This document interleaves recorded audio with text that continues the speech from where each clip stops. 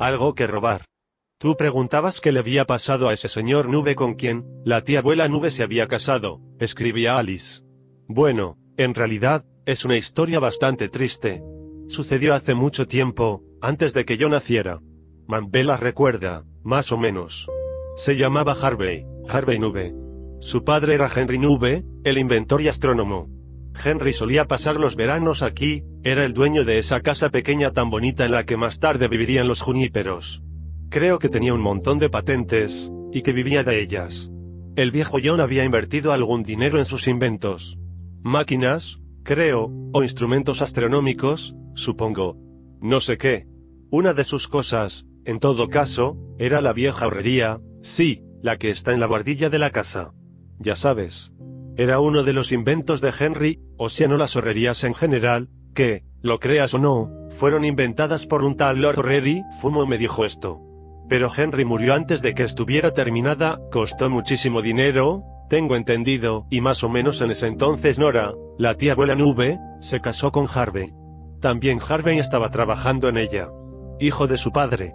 Vi una vez una foto de él, una que le tomó Oberon, en mangas de camisa, con cuello duro y corbata, sospecho que los usaba incluso cuando trabajaba, parecía muy orgulloso y reflexivo, de pie junto al artefacto ese, la horrería, antes de que le instalasen. Era enorme y complicada, y ocupaba casi toda la foto. Y entonces, cuando al fin acabaron de instalarla, John había muerto hacía tiempo para ese entonces, hubo un accidente, y el pobre Harvey se cayó de la cúpula misma de la casa, y se mató. Supongo que entonces todo el mundo se olvidó de la horrería, o no quisieron pensar más en ella. Sé que Nube nunca hablaba de ella. Tú solías esconderte allá arriba, me acuerdo de eso. Ahora, ¿sabes? Fumo se pasa la vida allá, en la guardilla, tratando de ver si podrá funcionar alguna vez, y estudiando libros de mecánica y de relojería. No sé cómo le va yendo. Sophie dice que te recomiende que cuides tu garganta, a causa de las bronquitis, en marzo. El bebé de Lucy va a ser un varón. ¿No se está alargando demasiado el invierno? Tu madre, que te quiere. Bueno.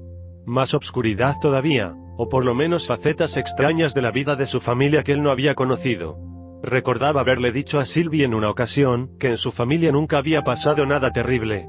Eso había sido, por supuesto, antes de que se enterase de la historia de las lilas falsa y verdadera. Y ahora aparecía el pobre Harvey, un joven esposo, cayéndose del tejado justo a la hora del triunfo. Podía utilizar esa historia. No había nada, empezaba a sospechar, que no pudiese utilizar. Tenía talento para ese trabajo, verdadero talento. Todo el mundo lo decía. Pero, mientras tanto, su escenario volvía a estar en la ciudad. Esta era la parte fácil, un descanso de las otras, las escenas más complejas, todo era simple en la ciudad, la depredación, las persecuciones, la salvación, el triunfo y la derrota, los débiles al paredón, solo los fuertes sobreviven. Escogió, de una larga hilera que habían reemplazado los anónimos en Rústica de York, uno de los viejos libros del doctor. Se los había hecho mandar desde Bosque de Linde cuando se convirtió en guionista de la televisión, y, tal como había esperado, le estaban prestando una gran utilidad. El que había cogido era uno sobre las aventuras del lobo gris y, mientras bebía su whisky, empezó a ojearlo, buscando algo que robar. Escapes. La luna era de plata. El sol era de oro, o al menos enchapado en oro. Mercurio era un globo azogado, azogado con mercurio, claro está. Saturno era lo bastante pesado como para ser de plomo. Fumo recordaba que la arquitectura asociaba algunos metales con ciertos planetas, no con estos planetas, los de la arquitectura eran los planetas imaginarios de la magia y la astrología. La horrería, reforzada con latón y encastada en madera de roble, era uno de esos instrumentos de principios de siglo que no hubieran podido ser más racionales, materiales y elaborados. Un universo patentado, construido con varillas, esferas, engranajes y resortes galvanizados. ¿Por qué entonces Fumo uno podía entenderlo? Miró con atención una vez más el dispositivo, una especie de escape libre que estaba a punto de desmontar. Si lo desmontaba antes de comprender su función, dudaba de poder armarlo nuevamente. En el suelo, y abajo, encima de las mesas del corredor, había varios de estos escapes, todos limpios y envueltos en lienzos aceitados, y envueltos además en su misterio. Este escape era el último. Supuso, no por primera vez, que nunca debió haberse metido en este brete. volvió a estudiar el diagrama de la enciclopedia de mecánica que más se parecía al aparato polvoriento y oxidado que tenía ante él. E representa, en la figura, una rueda de escape de cuatro paletas, y cuyos dientes se apoyan al girar en el trinquete curvo GFL. Una clavija, H, impide el excesivo retroceso de la paleta, que un resorte sumamente delicado, K, mantiene en posición. Dios, qué frío hacia aquí. Un resorte sumamente delicado. ¿Este? ¿Y por qué aquí parecía estar invertido? La paleta ve en gran el brazo FL, liberando la rueda de escape, uno de cuyos dientes, M. Oh, caray. Tan pronto como las letras pasaban de la mitad del alfabeto, Fumo empezaba a sentirse atascado, impotente, como atrapado en una red. Cogió un alicate, lo volvió a dejar. El ingenio de los inventores era asombroso.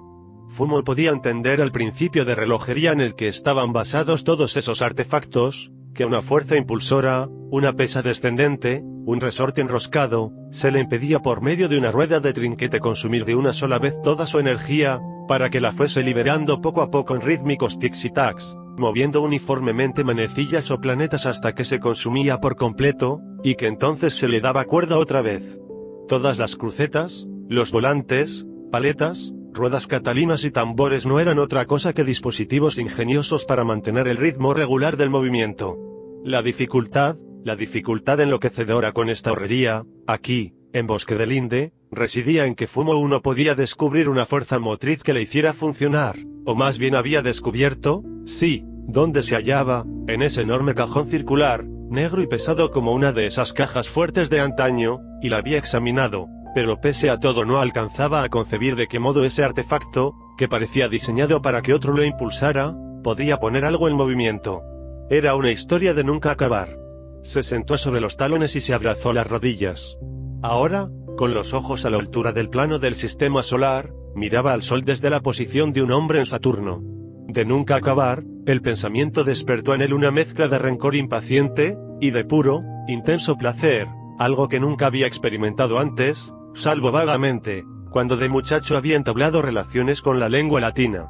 El aprendizaje de esa lengua, cuando empezó a descubrir su inmensidad, le había parecido capaz de llenar su vida, todos los huecos e intersticios de su anonimato, se había sentido a la vez invadido y confortado por ella. Y la había abandonado al fin en algún momento a medio camino, después de haber lamido su magia como si fuera la crema del pastel. Sin embargo, ahora su vejez acabaría la tarea, al fin y al cabo, también esto era una lengua. Los tornillos, las esferas, las varillas, los resortes no eran una imagen sino una sintaxis. La horrería no reproducía el sistema solar en un sentido visual o espacial, de ser así, la bonita tierra esmaltada en verde y azul tendría que ser una mota apenas y el aparato mismo por lo menos diez veces más grande de lo que era. No, lo que aquí se expresaba, por medio de las inflexiones y predicados de una lengua, era una serie de relaciones, y aunque las dimensiones fuesen ficticias, las relaciones mismas eran estrictamente exactas, porque el lenguaje era el número, y se intentaba aquí como lo hacía en el firmamento, con la misma perfecta precisión. Había tardado mucho en comprender este hecho, ya que no era un espíritu matemático y menos aún mecánico, pero ahora poseía su vocabulario, y su gramática empezaba a parecer clara para él. Y suponía que, tal vez no pronto, pero con el tiempo, sería capaz de leer y comprender sus enormes frases de bronce y cristal, y que éstas no serían, como resultaron ser las de César y Cicerón, huecas casi todas ellas, tontas y sin misterio, sino que, por el contrario, le revelarían algo, algo equivalente a la codificación de que estaban investidas, algo que él necesitaba saber. Unos pasos rápidos sonaron por la escalera, y su nieto retoño asomó por la puerta su pelirroja cabeza. Abuelo, dijo, paseando una mirada por el recinto y sus misterios. La abuela te manda un bocadillo.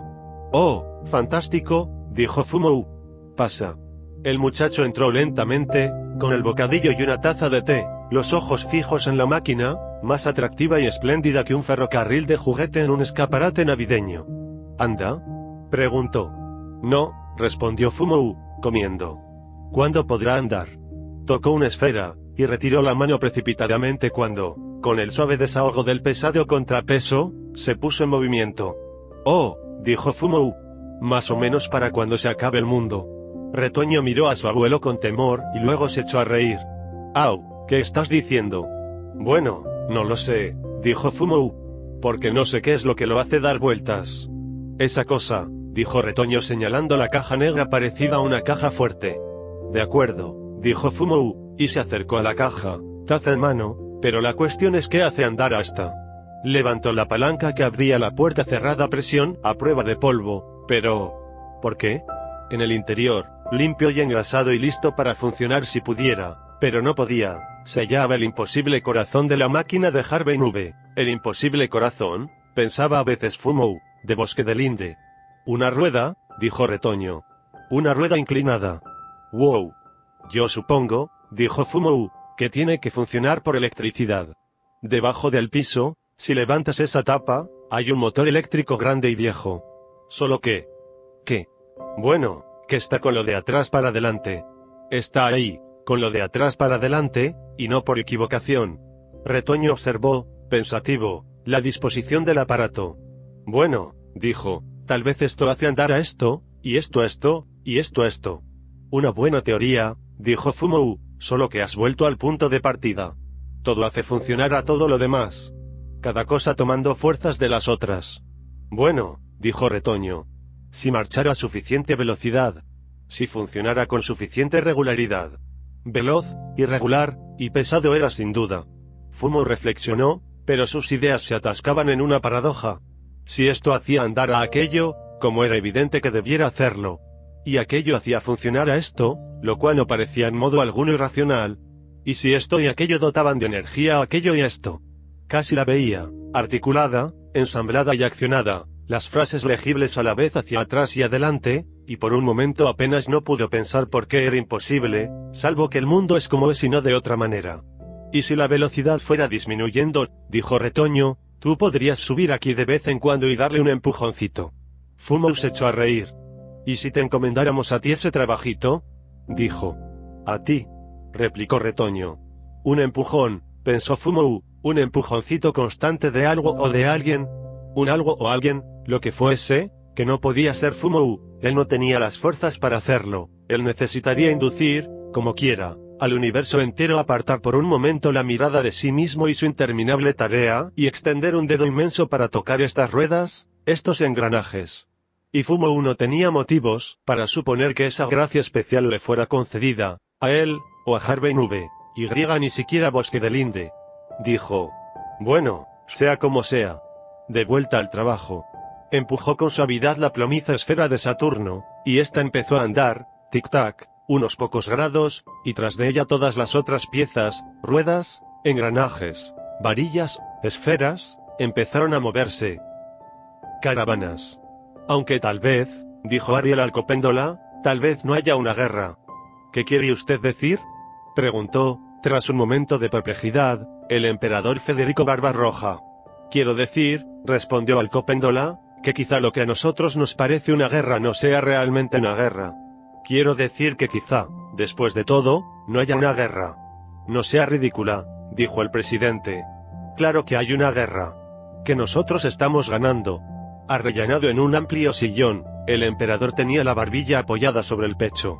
Alcopéndola, sentada al piano, un piano que ocupaba buena parte de la otra mitad del salón, y cuyo encordado había hecho modificar para obtener de él cuartos de tono, se complacía en tocar melodías plañideras de himnos antiguos armonizados de acuerdo con un sistema de su propia invención, que en el piano alterado sonaban extraña, dulcemente discordantes.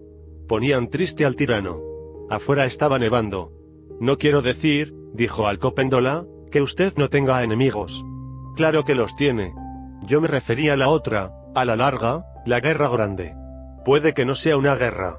El club bullicio de Brick, pesca y tiro, aunque desenmascarado, los rostros tensos, fríos de sus miembros, sus abrigos obscuros aparecían en todos los periódicos, no había caído en la celada, como Alcopéndola había sabido que no lo harían, con tanta facilidad. Sus recursos eran grandes. A cualesquiera cargos que se les imputaba en ellos tenían contracargos para denunciar. Y contaban con el mejor asesoramiento legal. No obstante, no habían prestado oídos al copéndola cuando les advirtió que ello podía ocurrir, su papel en la historia había finalizado. La lucha no hacía más que postergar un desenlace, que jamás había estado en duda. El dinero se amontonaba en los meandros de la causa, y explotaba a veces como bombas, causando inesperados cambios de fortuna a los miembros. Pero esos respiros momentáneos nunca parecían dar al club tiempo suficiente para recobrarse. Paddy, Smile Doram, Ruth, después de haber cobrado honorarios enormes de todas las partes, se retiraron de la defensa, en medio de misteriosas circunstancias y amargas recriminaciones. Poco tiempo después salieron a la luz grandes cantidades de documentos cuya procedencia hubiera sido inútil que intentasen negar. Hombres que tuvieron en tiempos poder y sangre fría podían verse en las pantallas de todos los televisores llorando lágrimas de frustración y desesperación, llevados al arrastro a los juzgados por alguaciles de guantes blancos o indiferentes policías de paisano.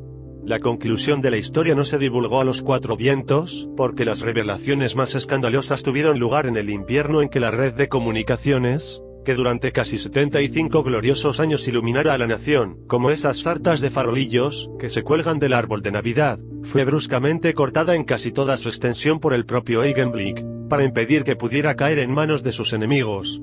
En otras partes, por sus enemigos, para impedir que cayera en poder del tirano.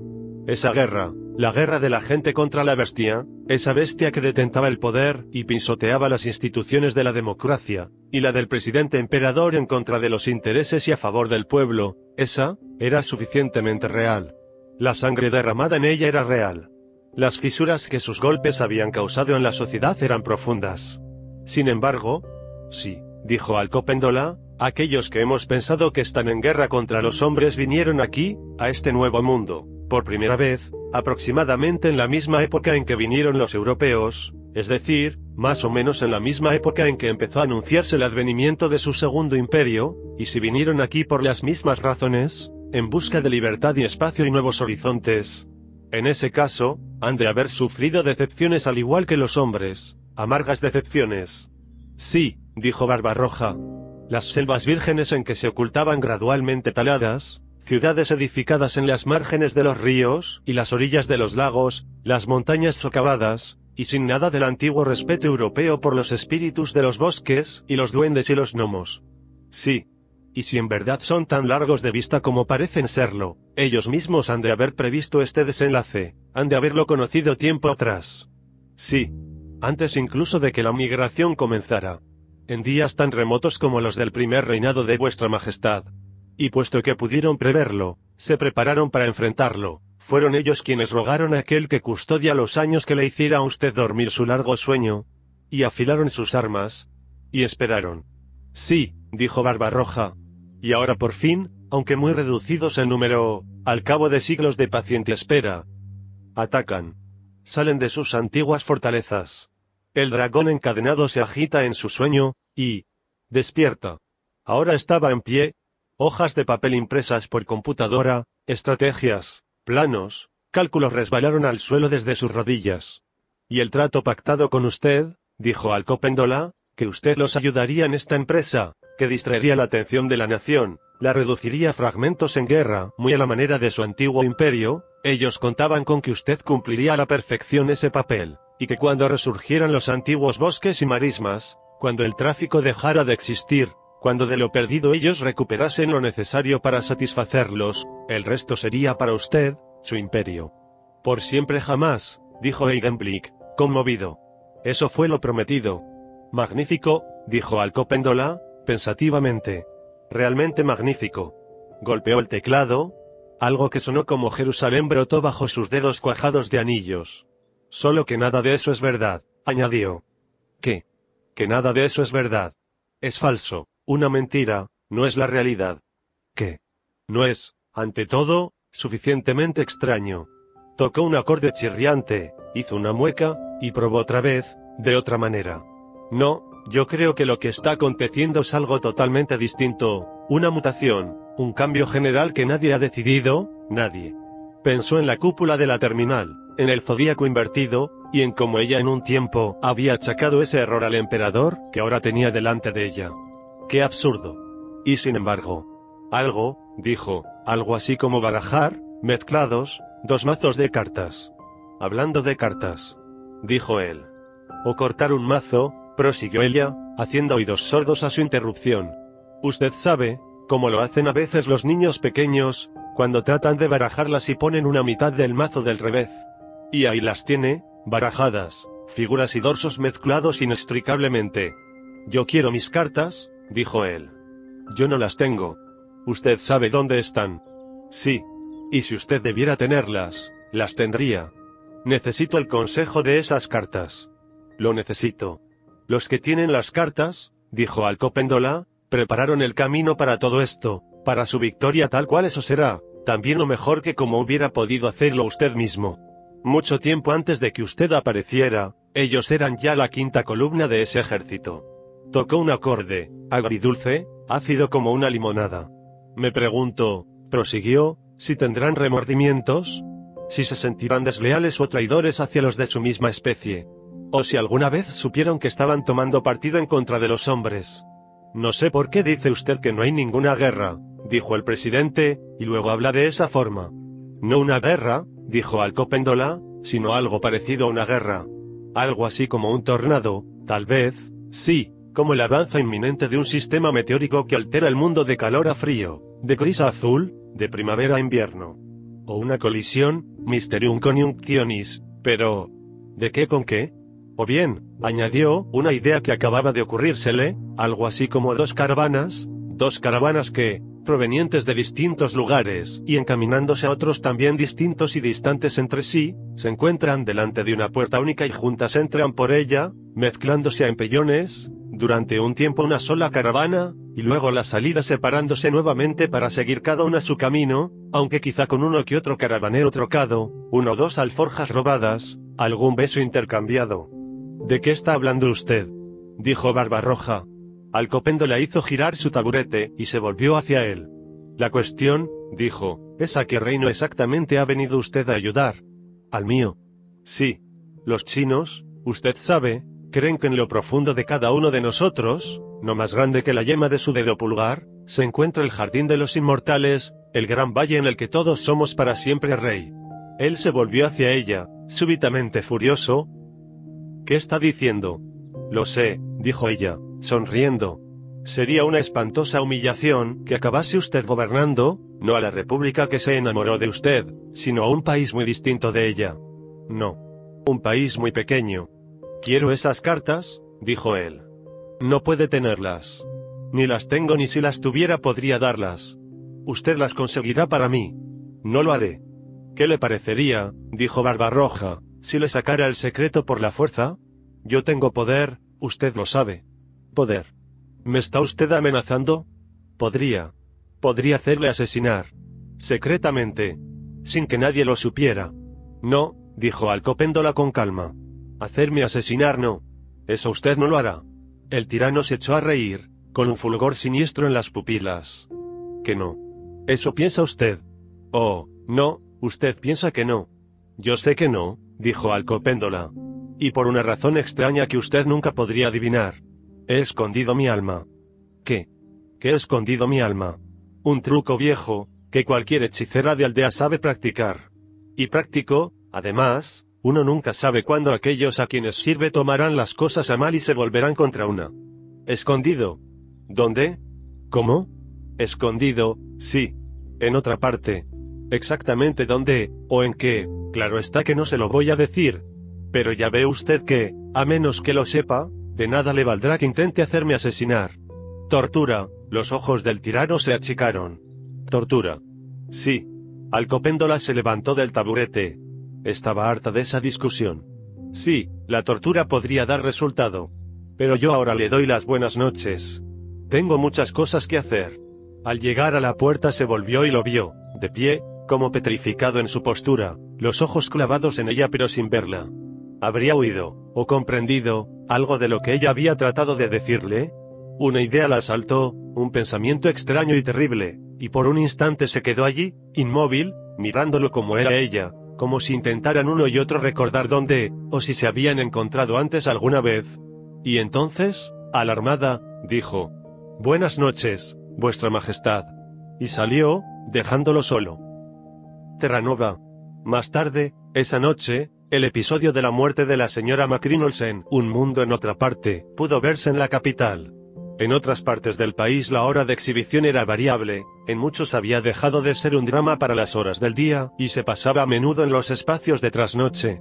Pero irradiarse, se irradiaba, por canal o por cableo, donde ello no era posible, donde las líneas habían sido cortadas o la transmisión prohibida, introducido ilegalmente en pequeñas estaciones locales, o copiado y transportado por tierra, a mano, a transmisoras clandestinas, las preciosas cintas titilando en pueblecitos nevados y distantes. Un caminante que deambulara esa noche por la única calle de uno de aquellos poblados vislumbraría su resplandor azuloso en cada sala de estar, y podría ver, en una casa, a la señora McReynolds transportada a su lecho de enferma, en la vecina, a sus hijos reunidos en torno de ella, escuchar, en la siguiente, sus palabras postreras, y en la última, antes de que el poblado terminase y comenzara la pradera silenciosa, ver a la anciana ya muerta. En la capital, también el presidente emperador miraba el episodio, empañados los ojos ceñudos y aquilinos aunque de un suave color castaño. Nunca deseéis, desear es fatal. Una nube de piedad, de autocomiseración, lo envolvió y, como suelen hacerlo las nubes, adoptó una forma, la forma del rostro altivo, socarrón e implacable de Ariel Alcopéndola. ¿Por qué yo? se preguntó, alzando las manos como para mostrar las cadenas. ¿Qué había hecho él para que sellaran con él ese pacto abominable? Él había sido serio y trabajador, le había escrito al Papa algunas cartas tajantes, había casado bien a sus hijos. Poca cosa más. ¿Por qué su nieto, Federico II, no habría sido un conductor? ¿Por qué no él? ¿Acaso no se había contado sobre él la misma historia, que no estaba muerto sino solo dormido, y que despertaría para guiar a su pueblo a la victoria? Pero aquella era solo una leyenda.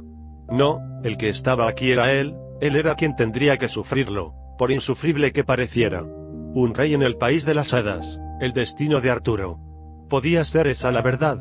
¿Un reino no más grande que la yema de su dedo pulgar? Su reino terrenal tan solo viento, el viento de su tránsito de aquí a allá, de un sueño a otro sueño.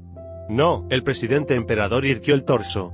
Si hasta entonces no había habido una guerra, o solo una guerra ficticia, ese tiempo había pasado. Él lucharía. Él los obligaría a cumplir al pie de la letra las promesas que le hicieran hacía tanto tiempo. Durante 800 años él había dormido, combatiendo con sueños, sitiando sueños, conquistando soñadas tierras santas, ciñendo coronas soñadas. Durante 800 años había codiciado el mundo, el mundo real, ese mundo que solo podía intuir pero no ver más allá de todos los evanescentes reinos de los sueños. Alcopéndola podía tener razón, tal vez ellos nunca habían tenido esa intención. Bien podía ser, claro que podía, o sí, ahora empezaba a ver todo muy claro, que ella estuviese confabulada con ellos desde el comienzo mismo con el solo fin de engañarlo. Casi le daba risa, una risa horripilante, Pensar que en un tiempo no solo le había creído, sino hasta se había respaldado en ella. Nunca más. Él iba a luchar. Por cualquier medio, obtendría de ella esas cartas, sí, aunque ella desatara contra él sus terribles poderes, él las conseguiría. A solas, sin ayuda de nadie, él lucharía, lucharía por conquistar su grandiosa, sombría y nevada Terranova. Solo esperad, dijo, agonizante, la señora McReynolds. Solo esperad con paciencia. El caminante solitario. Refugiado. Vendedor. Espía policíaco. Pasó por la última casa del poblado y echó a andar por la desierta carretera. Atrás, en las casas, uno a uno, los ojos azulosos de los televisores se cerraron. Un programa de noticias había comenzado, pero ya no había más noticias. Ellos se iban a dormir. La noche era larga. Soñaban con una vida que no era la suya, una vida que pudiera llenar la suya, con una familia en otra parte y una casa que la tierra lóbrega pudiera una vez más transformar en un mundo. En la capital nevaba aún. La nieve que blanqueaba la noche, desdibujando las siluetas de los monumentos, que se divisaban a la distancia a través de los ventanales de parteluz del presidente, se amontonaba a los pies de los héroes, obstruía las entradas de los garajes subterráneos. En algún lugar un automóvil atascado gemía rítmica inútilmente intentando escapar de una luz. Barba Roja lloraba. A punto de acabar. ¿Qué quieres decir? preguntó Fumou. ¿Qué es eso de a punto de acabar? Quiero decir que creo que está a punto de acabar, dijo Alice. No acabado, todavía no. Solo a punto. Se habían acostado temprano, lo hacían a menudo en estos tiempos, ya que la gran cama con su alta pila de mantas y calientapiés era el único lugar de la casa donde podían sentirse realmente abrigados. Fumo usaba un gorro de dormir, las corrientes eran las corrientes, y nadie al fin y al cabo podía ver lo ridículo que quedaba. Y conversaban. Muchos enredos personales fueron desenmarañados durante esas noches largas, o demostraron ser, en todo caso, desenmarañables, lo cual, Fumo suponía, era más o menos la misma cosa. Pero, ¿cómo puedes decir eso? dijo Fumo, dándose vuelta y levantando como sobre una gran ola a los gatos embarcados a los pies de la cama. Bueno, por Dios, dijo Alice, ha sido bastante largo. ¿No te parece? Él la miró, miró su rostro pálido, sus cabellos casi blancos apenas discernibles en la oscuridad contra la funda blanca de la almohada. ¿Cómo tenía siempre ella a flor de labios esas no respuestas, esas explicaciones que soltaba con un tono tal de consecuencia lógica y que no explicaban nada, o lo mismo que nada? Era algo que a él nunca dejaba de asombrarlo. No es eso lo que quise decir, exactamente. Supongo que lo que quise decir es que como sabes tú que está a punto de acabar. Lo que sea. Yo no estoy segura, dijo ella, después de una larga pausa. Solo que al fin y al cabo me está pasando a mí, en todo caso en parte, y yo me siento a punto de acabar, en cierta forma. Y... No digas eso, dijo él. No se te ocurra, ni en broma. No, dijo ella. Yo no hablaba de morir. ¿Fue eso lo que tú pensaste? ¿Era eso? Sí. Él ahora veía que no había entendido absolutamente nada, y se dio vuelta otra vez. Bueno, al diablo, dijo. La verdad es que nunca tuvo nada que ver conmigo. Uy, uy, dijo ella, y se le acercó un poco más y le pasó un brazo alrededor. Uy, Fumo, no seas así. Levantó las rodillas detrás de las de él, y quedaron juntos los dos como una doble S. ¿De qué forma?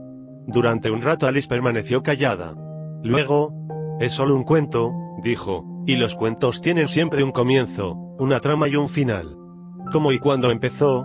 Yo no lo sé, pero sé que por la mitad. ¿Qué ocurrió por la mitad? Tú estabas en él. ¿Qué ocurrió? Apareciste tú. Él oprimió contra su cuerpo la mano familiar de Alice. ¿Y qué hay del final? Dijo. Bueno, de eso se trata, dijo ella. Del final. Aprisa, antes que esa cosa enorme, esa obscura amenaza que creía entrever en sus palabras, se apoderase solapadamente de él, Fumo dijo. No, no, no, no.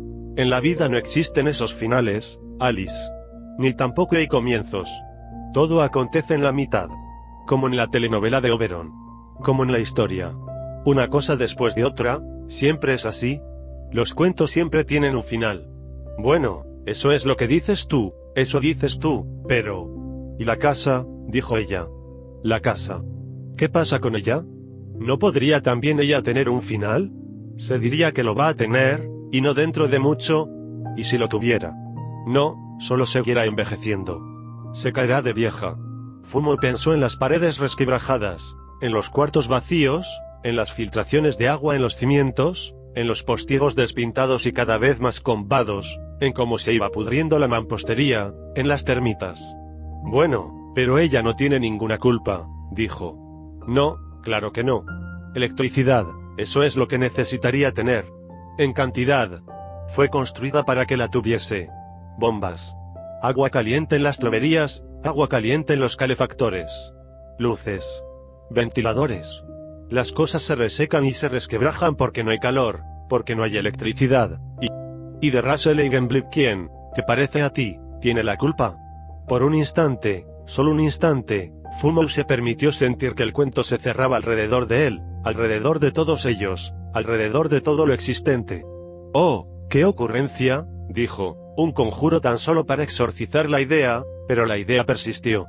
Un cuento, una broma monstruosa se diría, más bien, el tirano instalado al cabo de sabe Dios cuántos años de preparativos y de derramamiento de sangre, de divisiones e inmensos sufrimientos, y todo ello tan solo para privar a una casa vieja de lo que necesitaba para seguir viviendo, para que el final de un cuento intrincado, que coincidía con el final de la casona, se pudiera producir o quizá tan solo apresurar, y él heredando esa casa, tal vez desde el principio atraído hacia ella con el señuelo del amor solo para que con el tiempo pudiese heredarla, y heredarla tan solo para que, pese a todos sus esfuerzos, las herramientas y utensilios nunca lejos de sus manos inhábiles, todo para nada, pudiera presidir, tal vez a causa, incluso, de alguna torpeza o estupidez, que él bien pudo haber cometido, su disolución. Y esa disolución, a su vez, traer consigo. Bueno. Y entonces, dijo, si no pudiéramos seguir viviendo aquí. Alice no le contestó, pero su mano buscó la de él y la retuvo. Diáspora.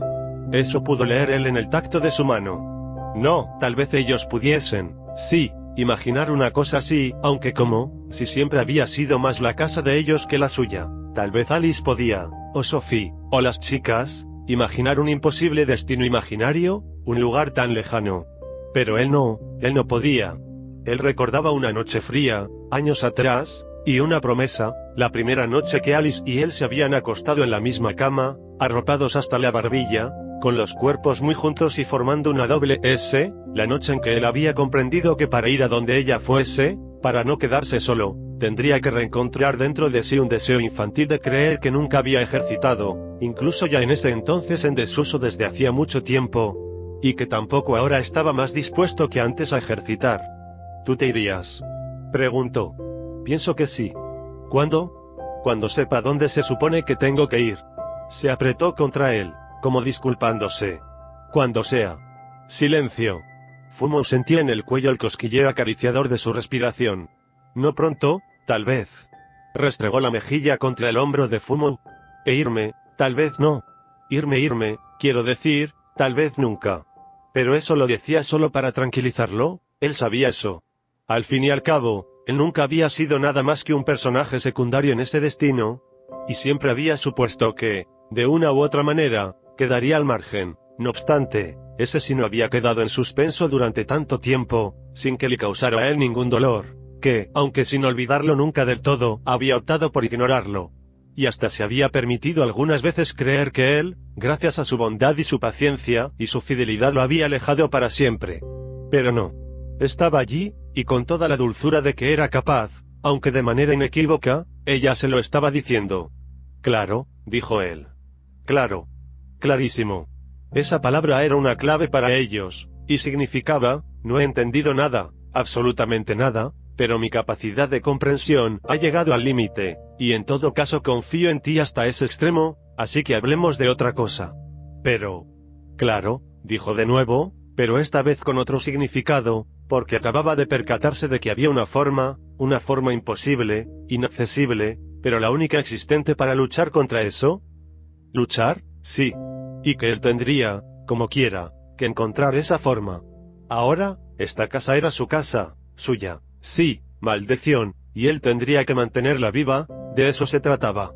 Porque si la casa vivía, si podía vivir, tal vez el cuento no podría acabarse. ¿O sí? Nadie necesitaría irse, quizá nadie pudiera irse. ¿Qué sabía él de todo eso?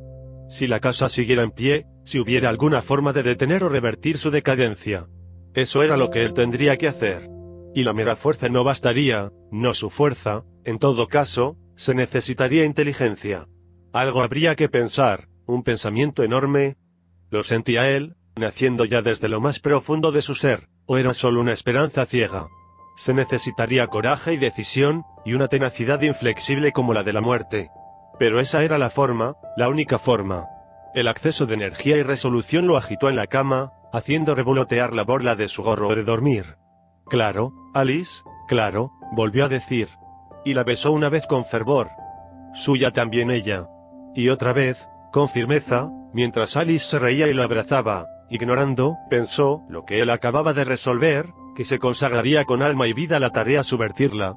Y ella lo besó a su vez. ¿Cómo podía ser? preguntaba la Alice mientras se besaban, que el decirle esas cosas al esposo que amaba, en una noche como esta, la más obscura del año, no la llenara de tristeza sino por el contrario de alegría, de una esperanzada felicidad.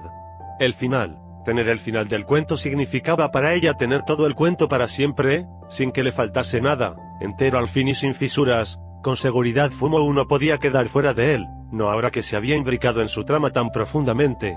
Sería bueno, tan bueno tenerlo todo de una vez, del principio al fin, como una larga, larguísima labor que se ha ido ejecutando de a poquito, con la esperanza y la fe de que la última puntada, el último tirón de las hebras, el remate y el nudo final, le otorgaran repentinamente todo su sentido.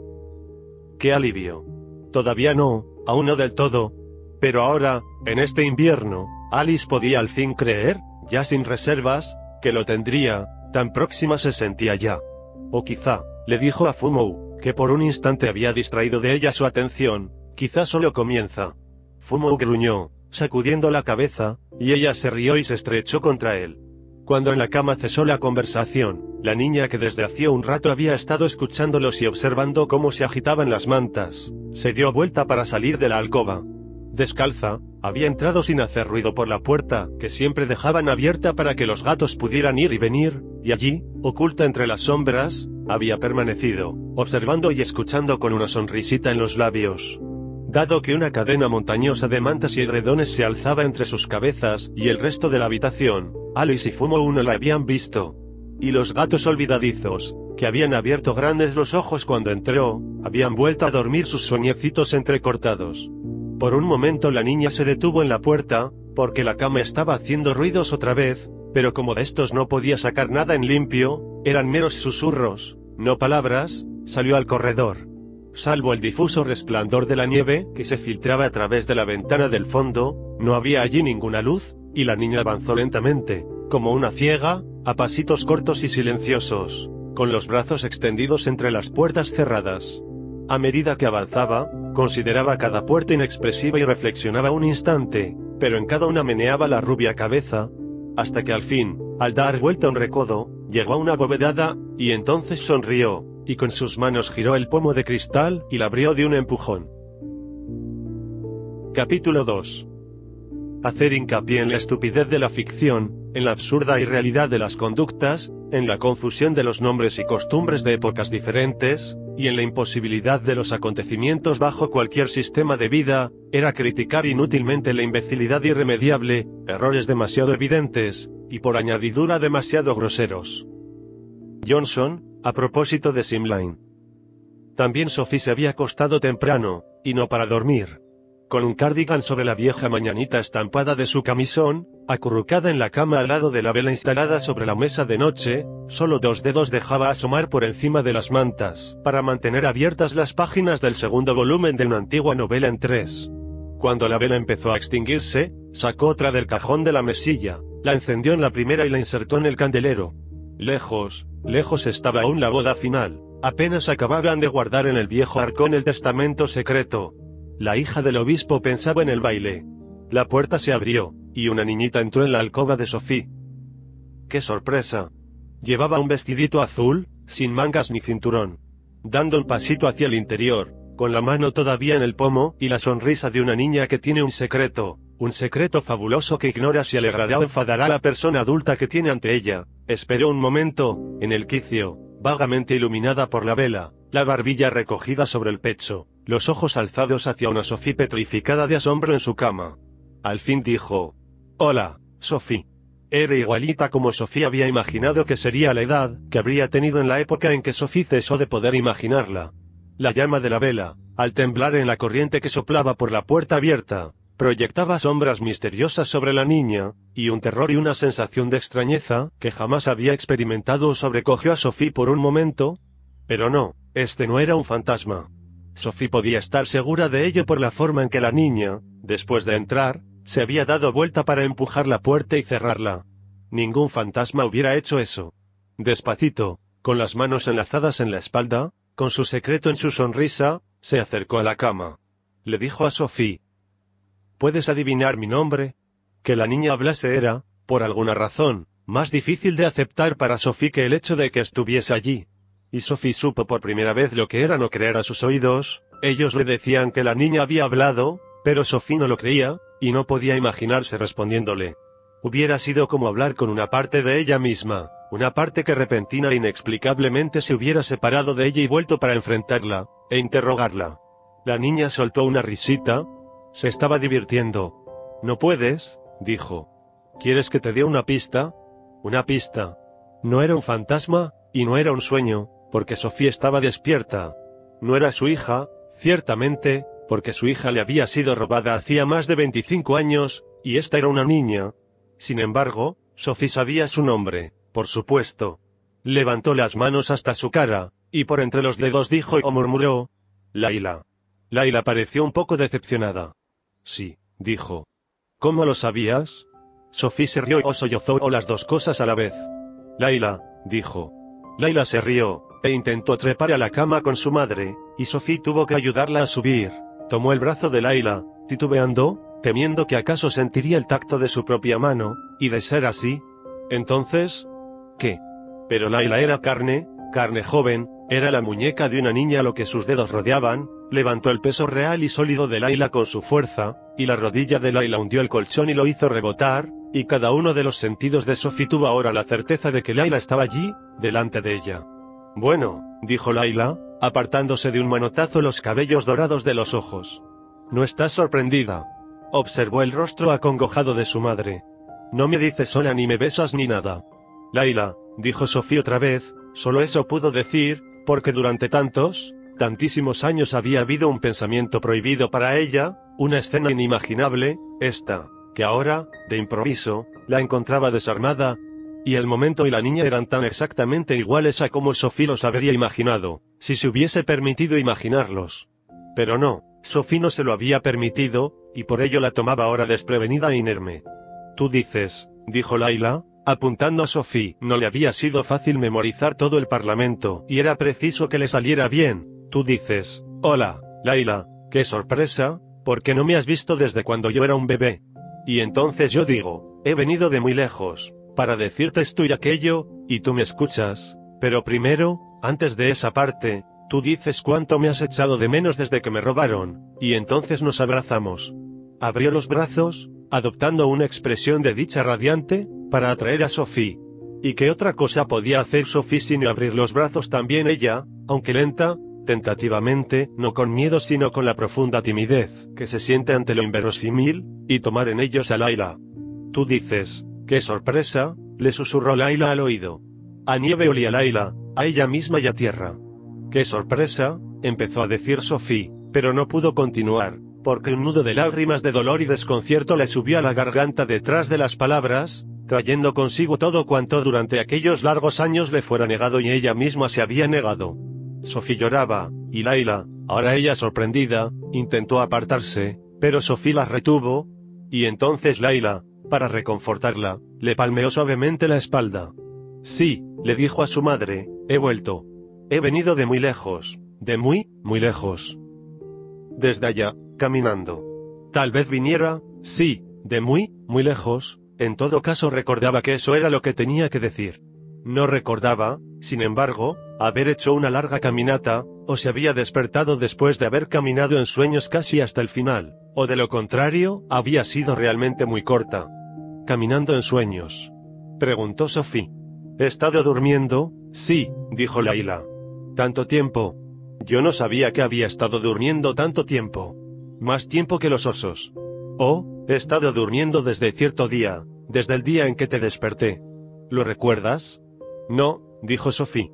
Aquel día, dijo Laila, el día en que te robé el sueño. Yo te grité. Despierta. Y te tiré del pelo. Tú me robaste el sueño. Porque yo lo necesitaba, perdóname, dijo Laila alegremente. Ese día. Dijo Sophie, mientras pensaba. Qué raro ser tan vieja y estar tan llena de cosas, y tener tu vida dada vuelta, como puede tenerla un niño. Ese día. Y ella había dormido desde entonces. Desde entonces, dijo Laila. Y luego vine aquí. Aquí, dijo Sophie. ¿De dónde? De allá. Del sueño. O en todo caso. En todo caso, se había despertado del sueño más largo del mundo, que olvidó por completo tan pronto como se despertó, para encontrarse andando, al anochecer, por un camino oscuro, con campos silenciosos cubiertos de nieve a cada lado, y en derredor un cielo frío y plácido rosa y azul, y una misión para la cual había sido preparada antes de dormirse, y que su largo sueño no había olvidado, por realizar. Todo aquello era bastante claro y a Laila no la sorprendió, más de una vez, mientras crecía, se había encontrado de improviso en circunstancias extrañas, pasando de un encantamiento a otro como un niño a quien levantan dormido de su cama para llevarlo a una celebración, y se despierta, y parpadea y mira en derredor con sorpresa, pero aceptándolo todo porque lo sostienen manos familiares. Sus pies se habían deslizado, pues, uno detrás de otro, había visto un cuervo y, cuando trepaba por una colina, vio morir los últimos resplandores de un sol escarlata y trocarse en malva el rosa del cielo, y la nieve teñirse de azul, y solo después, cuando descendía, se le ocurrió preguntarse dónde estaba, y cuánto más tendría aún que andar. Al pie de la colina, entre pequeños y frondosos siempre verdes, se alzaba una casita desde cuyas ventanas brillaba en el anochecer la llama amarilla de las lámparas. Cuando llegó a ella Laila empujó el portoncito blanco de la cerca de estacas, una campanilla tintineó dentro de la casa mientras se abría, y echó a andar por el senderito que subía hasta el porche. Por encima del césped cubierto de nieve, asomó, como lo había estado haciendo durante años y años, la cabeza de un gnomo, el alto bonete duplicado por otro bonete de nieve. Los juníperos, dijo Sofí. ¿Qué? La casa de los juníperos, dijo Sofí. Su chalecito. Allí vivía una mujer vieja, viejísima, la más vieja, excepto la señora Soutomont y sus hijas, que Laila había visto jamás. Abrió la puerta, levantó en alto la lámpara, y con una vocecita cascada preguntó, ¿Amigo o enemigo? Oh, santo cielo, porque lo que vieron sus ojos fue una niña casi desnuda, descalza y sin sombrero, allí, delante de ella, sobre la nieve del portal. Margaret Junipero no hizo ninguna tontería, abrió la puerta para que Laila pudiese entrar, si eso quería, y al cabo de un momento Laila decidió que entraría, y entró y avanzó por el minúsculo pasillo a través de la alfombra raída y dejó atrás la repisa de las chucherías, largo tiempo sin desempolvar, pues Mark temía romper los objetos con sus viejas manos, y de todas maneras tampoco podía ahora ver el polvo, y por la puerta abovedada pasó a la salita, donde, en la estufa, chisporroteaba el fuego. Mark la seguía con la lámpara, pero al llegar al dintel titubeó, no estaba segura de querer entrar, Vio que la niña se sentaba en el sillón de arce que fuera de Jeff, y apoyaba las manos en los brazos que parecían remos, como si le gustaran o la divirtieran. Luego miró a Mark. ¿Puede usted decirme, preguntó, si voy bien por este camino a Bosque del Inde? Sí, respondió Mark, sin sorprenderse, como quiera, de que la niña le hiciera esa pregunta. Oh, dijo Laila. Tengo que llevar un mensaje a ese lugar. Levantó las manos y los pies hacia la estufa, aunque no porque pareciera sentir frío, y tampoco eso sorprendió a Mark. ¿Cuánto falta aún para llegar? Horas, dijo Mark. Oh. ¿Cuántas? Yo nunca caminé hasta allí, dijo Mark. Oh. Bueno, soy buena caminadora. Se levantó de un salto y señaló, interrogativamente, en una dirección, y Mark meneó la cabeza, no, y Laila se rió y señaló en la dirección opuesta. Mark asintió, sí, se hizo a un lado para que la niña pudiera salir, y la siguió hasta la puerta. Gracias, dijo Laila, su mano ya en el picaporte. De un cacharro que había junto a la puerta, donde guardaba los billetes de dólar y los caramelos surtidos con que pagaban los muchachos, que le barrían la nieve de la entrada y le cortaban la leña, Mark sacó un gran bombón de chocolate y se lo ofreció a Laila. La niña lo cogió con una sonrisa, ¿eh? irguiéndose sobre las puntas de los pies, besó la vieja mejilla de Mark. Acto seguido salió de la casa, bajó por el sendero y enfiló hacia Bosque de Linde sin volver la cabeza. Mark, desde la puerta, la observaba, con la extraña y creciente sensación de que solo para esta pequeñísima visita había vivido ella toda su larga existencia, de que esta casita a la vera del camino, esta lámpara que sostenía en la mano y toda la cadena de acontecimientos, que condujeran a esta circunstancia, habían tenido siempre y por única razón de ser esta visita. Y también Laila, mientras caminaba deprisa, Recordaba en ese instante que visitar esa casa era, por supuesto, una de las cosas que ella tenía que hacer, así como decirle a la viejecita las cosas que le había dicho, fue el sabor del chocolate lo que se lo trajo a la memoria, y que al anochecer del día siguiente, un anochecer tan azul y sereno como este, o quizá más sereno, en los cinco poblados que formaban una estrella pentacular alrededor de Bosque del Linde, todo el mundo sabría que Mark Junipero había tenido una visita. Pero, dijo Sophie, caminando. No puedes haber llegado aquí desde el anochecer. Soy buena caminadora, dijo Laila. O tal vez tomé un atajo. Fuera cual fuese el camino que tomara, había tenido que cruzar un lago escarchado y una isla, lacustre rielando en él a la luz de las estrellas, donde se alzaba un pequeño cenador de pilares, o quizá fueran solo figuras de nieve, que sugerían un lugar así, y a través de los bosques, despertando a un paro carbonero, pasado por un edificio, una especie de castillejo, como azucarado de nieve. El pabellón de verano, dijo Sophie. Un edificio que Laila había visto antes, hacía mucho tiempo, en otra estación. Se aproximó a él a través de los que antaño fueran los macizos de flores, que bordeaban el césped, ahora un espeso matorral, del que solo emergían por encima de la nieve los altos tallos secos del gordolobo y la malvaloca. La osamenta gris de una reposera de lona yacía en el patio. Al verla allí, Laila pensó, había algún mensaje, algún consuelo que traer a este lugar. Estuvo allí un momento, contemplando los despojos de la silla y la casa acurrucada, sin rastros de pisadas en la nieve, que subía hasta la puerta, a medias atascada por la nieve, una puerta mosquitera para el verano, y por primera vez en su vida tembló de frío, pero no pudo recordar cuál era el mensaje ni para quién, ni si en verdad había un mensaje, y reanudó su camino. Oberon, dijo Sophie. No, dijo Laila. No para Oberon. Cruzó el campo santo, sin saber qué lugar era ese, la parcela de tierra donde fue primero sepultado John Agua, y más tarde otros a su lado o cerca de él, algunos conocidos por él, otros no. A Laila le asombraban aquellas grandes piedras talladas dispuestas aquí y allá, al azar, como gigantescos juguetes olvidados. Durante un rato las estudió, yendo de una a otra y restregando la nieve que las cubría para escudriñar los rostros tristes de los ángeles, las letras grabadas en bajo relieve, los florones de granito, mientras bajo sus pies, debajo de la nieve y de la negra hojarasca y de la tierra, las osamentas rígidas se distendían, y los pechos vacíos, de haber podido hacerlo, habrían suspirado, y las viejas actitudes de atención y ansiedad, que ni la muerte había podido disolver se relajaban, y, como lo hace un durmiente cuando cesa un sueño que lo atormenta o un ruido que lo perturba, cuando deja de oírse el llanto de un gato o de un niño extraviado, los que allí yacían encontraban el verdadero reposo, y dormían al fin profundamente mientras Laila caminaba por encima de ellos. Violet, dijo Sophie, llorando ahora a lágrima viva pero sin dolor, y John, y Harvey Nube, y la tía abuela Nube, y papá, y también el padre de Violet, y Oberon, y Oberon, ese Oberon, de pie encima de él, sobre el pecho de tierra que yacía sobre el pecho de ese Oberon, Laila empezó a ver más claro su mensaje y la razón por la cual estaba ahora allí. Sí, todo se iba aclarando, como si ella continuase despertándose más y más todo el tiempo después de haberse despertado. Oh, sí, se decía. Oh, sí. Se volvió para ver, más allá de los negros abetos, la mole oscura de la casa sin una sola luz a la vista, tan cubierta de nieve como los abetos, pero inconfundible, y pronto encontró un sendero para llegar a ella, y una puerta para entrar, y peldaños para subir, y puertas con pomos de cristal entre los cuales elegir. Y entonces, y ahora, dijo, arrodillándose sobre la cama, tengo que decirte lo que tienes que hacer. Si es que yo lo puedo recordar. Parlamento. Entonces, yo no estaba equivocada, dijo Sophie. La tercera vela empezaba a apagarse. El frío intenso de la medianoche llenaba la habitación. Solo unos pocos. 52, dijo Laila contándolos a todos. Tan pocos.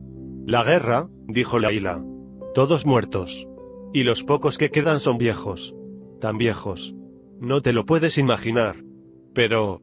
¿Por qué? dijo Sophie. ¿Por qué, si sabían que tendrían que perder a tantos? Laila se encogió de hombros, miró para otro lado. Explicar no parecía ser parte de su misión, solo dar la noticia, y una convocatoria, Tampoco pude explicarle a Sofía exactamente qué había sido de ella desde que la robaran, ni cómo había vivido. Cuando Sofía la interrogaba, ella respondía como lo hacen todos los niños, con apresuradas referencias a extraños y a sucesos desconocidos para el que escucha, suponiendo que todo será comprensible, tan familiar para el adulto como lo es para él. Pero Laila no era como otros niños. Tú sabes, decía una y otra vez, con impaciencia, cuando Sofía la interrogaba, y volvía a hablar de las noticias que había venido a traer, que la guerra tenía que acabar, que iba a haber una conferencia de paz, un parlamento, al cual todos los que podían debían asistir, para resolver este asunto, y acabar la larga época de tristeza de una vez. Un parlamento, en el que todos los que asistieran se encontrarían cara a cara. Cara a cara, cuando Laila le dijo esto, Sophie sintió que la cabeza le zumbaba, que los latidos de su corazón se detenían un instante, como si Laila le hubiese anunciado su muerte, o algo tan definitivo e inimaginado. Así que debéis venir, dijo Laila. Tenéis que hacerlo. Porque ellos son ahora tan pocos, la guerra tiene que acabar. Tenemos que hacer un tratado, para todo el mundo. Un tratado. O todos ellos estarán perdidos, dijo Laila. El invierno podría prolongarse, no acabar nunca más. Ellos podrían hacer eso, podrían, sí, la última cosa que podrían hacer. Oh, dijo Sophie. No. Oh, no. Ahora está en tus manos, dijo Laila, grave, combinatoria. Y, una vez transmitido este solemne mensaje, le extendió los brazos. De acuerdo, entonces, dijo, con vivacidad. ¿Vendréis todos? ¿Todos? Sophie se llevó a los labios los nudillos fríos. Laila allí, sonriente, viva, luminosa en la polvorienta habitación invernal, y esta noticia. Sophie se sentía hueca, desaparecida. Si allí había un fantasma, era Sophie y no su hija. Su hija. Pero... ¿Cómo? dijo. ¿Cómo haremos para llegar? Laila la miró con desaliento. ¿Tú no sabes cómo? dijo. En un tiempo lo sabía, dijo Sophie, otra vez las lágrimas agolpándose en su garganta. En un tiempo pensaba que podían encontrarlo, en un tiempo. Oh, oh. ¿Por qué esperaste tanto? Con una punzada de angustia vio muertas, sepultadas en ella todas las posibilidades de que Laila hablaba, muertas, sí, porque Sofía había aplastado cualquier posibilidad de que Laila pudiese alguna vez estar aquí y las enunciara. Durante demasiado tiempo había convivido con posibilidades terribles, Laila muerta, o transformada hasta lo irreconocible, y las había afrontado. Pero en la antigua predicción, la de Daisy y Lily, ella nunca, aunque había contado los años y estudiado las cartas en busca de una fecha, no, nunca se había permitido creer. El esfuerzo había sido enorme y le había costado terriblemente caro, en su esfuerzo por no imaginar el momento, había perdido todas las certezas de su infancia, todas aquellas imposibilidades comunes y corrientes, y perdido incluso, casi sin reparar en ello, los recuerdos que siempre conservara tan vividos de aquellas imposibilidades cotidianas, de la plácida e inexplicable atmósfera de maravilla en que en un tiempo había vivido. De esa manera se había protegido ella, este momento no había podido herirla, matarla, porque lo habría hecho. Si ella lo hubiese imaginado. Y así había podido al menos seguir de día en día. Pero ahora habían pasado tantos años, tantos años sombríos y despiadados. No puedo, dijo. No sé. No conozco el camino. Tienes que conocerlo, dijo Laila, simplemente. No, respondió Sofía meneando la cabeza. No lo conozco, y aunque lo conociera, tendría miedo. Miedo. Eso era lo peor, miedo de salir de esta casona vieja y sombría, el miedo que puede sentir un fantasma. Demasiado tiempo, dijo, enjugándose la nariz con la manga de su cardigan. Demasiado tiempo. Pero si la casa es la puerta, dijo Laila. Eso lo sabe todo el mundo. Está marcada en todos sus mapas. La casa. Sí. Seguro. ¿Y desde aquí? Laila la miró con desaliento. Bueno, dijo. Lo siento, Laila, dijo Sophie. He tenido una vida muy triste. ¿Sabes? Oh. Oh. Ya sé, exclamó Laila con súbita vehemencia. Las cartas. ¿Dónde están? Allí, dijo Sophie, señalando la caja de marquetería del Palacio de Cristal sobre la mesa de noche. Laila estiró el brazo y levantó la tapa de la caja. ¿Por qué has tenido una vida triste? preguntó sacando las cartas. ¿Por qué? dijo Sophie. Porque te robaron a ti, en parte, principalmente. Oh, eso. Bueno, eso no importa. ¿No importa? Sophie se rió, llorando. No, eso solo fue el principio. Con sus manos pequeñas, empezó a barajar las cartas torpemente. ¿No sabías eso? No. No. Yo pensaba. Creo que yo pensaba que aquello era el fin. Oh, qué tontería. Si no me hubieran robado yo no habría podido recibir mi educación, y si no hubiese recibido mi educación no podría haber venido ahora a traer la noticia. Así que todo ha sido para bien. ¿No lo entiendes? Sofía observaba barajar las cartas, dejando caer algunas para recogerlas e insertarlas de nuevo en el mazo, en una especie de parodia de cuidadoso arreglo, y trataba de imaginar la vida que Laila había llevado, pero le era imposible. ¿Y tú, Laila? preguntó, ¿me echabas de menos alguna vez? Atareada, Laila se limitó a alzar un hombro. Toma, dijo, y le entregó el mazo a Sofía. Ahora sigue tú. Sofía cogió lentamente las cartas, y en ese momento, por un instante apenas, y por primera vez desde que había entrado en la alcoba, Laila pareció ver a Sophie, verla realmente. Sophie, dijo, no estés triste. Las cosas son tanto más grandes de lo que tú piensas. Puso una mano sobre la de Sophie. Oh, hay una fuente allí. O una cascada, no recuerdo bien, y te puedes bañar en ella. Es tan transparente y tan tan fría y griega. Todo es tanto más grande de lo que tú piensas. Bajó de un salto de la cama. Y ahora, duerme, dijo. Yo tengo que marcharme. ¿Marcarte? ¿A dónde? No, Laila, yo no voy a dormir. Vas a dormir, dijo Laila. Ahora puedes porque yo estoy despierta. Oh, apoyó lentamente la cabeza sobre las almohadas que Laila había huecado para ella. Porque, dijo Laila, otra vez con su secreto en su sonrisa, yo te había robado el sueño, pero ahora yo estoy despierta y tú puedes dormir. Exhausta, Sofía apretó las cartas contra su pecho. ¿A dónde? dijo. ¿A dónde te irás? Está oscuro y hace frío. Laila tembló, pero solo respondió, Tú duerme. E irguiéndose de puntillas junto a la cama, apartó de la mejilla de Sofía los rizos claros y la besó con dulzura. Duerme. Cruzó el cuarto sin hacer ruido, y tras una última mirada a su madre por encima del hombro, salió al corredor frío y silencioso, y cerró la puerta. Desde la cama, Sofía permaneció con los ojos fijos en la puerta cerrada, en el vacío que Laila acababa de dejar. Con un siseo y un plop se apagó la tercera bujía. Siempre apretando las cartas, Sophie se zambulló poco a poco bajo las mantas y los edredones, pensando. O no pensando tal vez sino solo sintiendo. Sintiendo que en algo Laila le había estado mintiendo, al menos engañándola con respecto a algo, sí, pero... ¿Con respecto a qué? Duerme. Sofía estaba pensando y pensar era como respirar con la mente. ¿Con respecto a qué? Eso era lo que estaba respirando cuando, mientras su alma dejaba escapar un gritito de felicidad que casi la despierta, supo que dormía. No todo ha acabado. Oberon, bostezando, echó ante todo una ojeada al correo que Fred Savage le había traído del centro la noche anterior. Estimado mundo en otra parte, escribía con tinta azul verdosa a una señora, le escribo esta carta para hacerle una pregunta que me atormenta desde hace tiempo. Quisiera saber, si fuera posible, ¿Dónde queda esa casa en la que viven los Macrinols y los otros? No lo molestaría con esta carta, si no fuera porque me resulta absolutamente imposible imaginarla. Cuando vivían en Sadiacres. Hace añares. Me la podía imaginar con relativa facilidad, pero este otro sitio al que ahora han ido a parar, me es imposible imaginarlo. Por favor, deme usted alguna idea. No puedo pensar en ninguna otra cosa.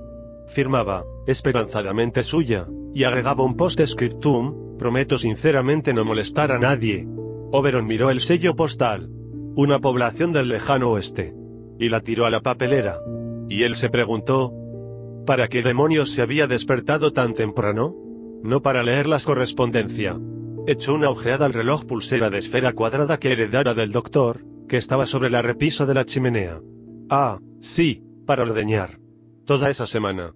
Estiró distraídamente las mantas de la cama, puso una mano debajo de la barandilla de los pies, exclamó, arriba, y la transformó como por arte de Birli en un viejo guardarropa con un espejo de luna en el frente. El clic con que culminaba el ensamblaje en la posición vertical siempre se le antojaba un suspiro de satisfacción. Viendo por la ventana que caía una ligera nevada, eligió un par de botas altas, y un jersey grueso. Bostezando de nuevo, tendría café York.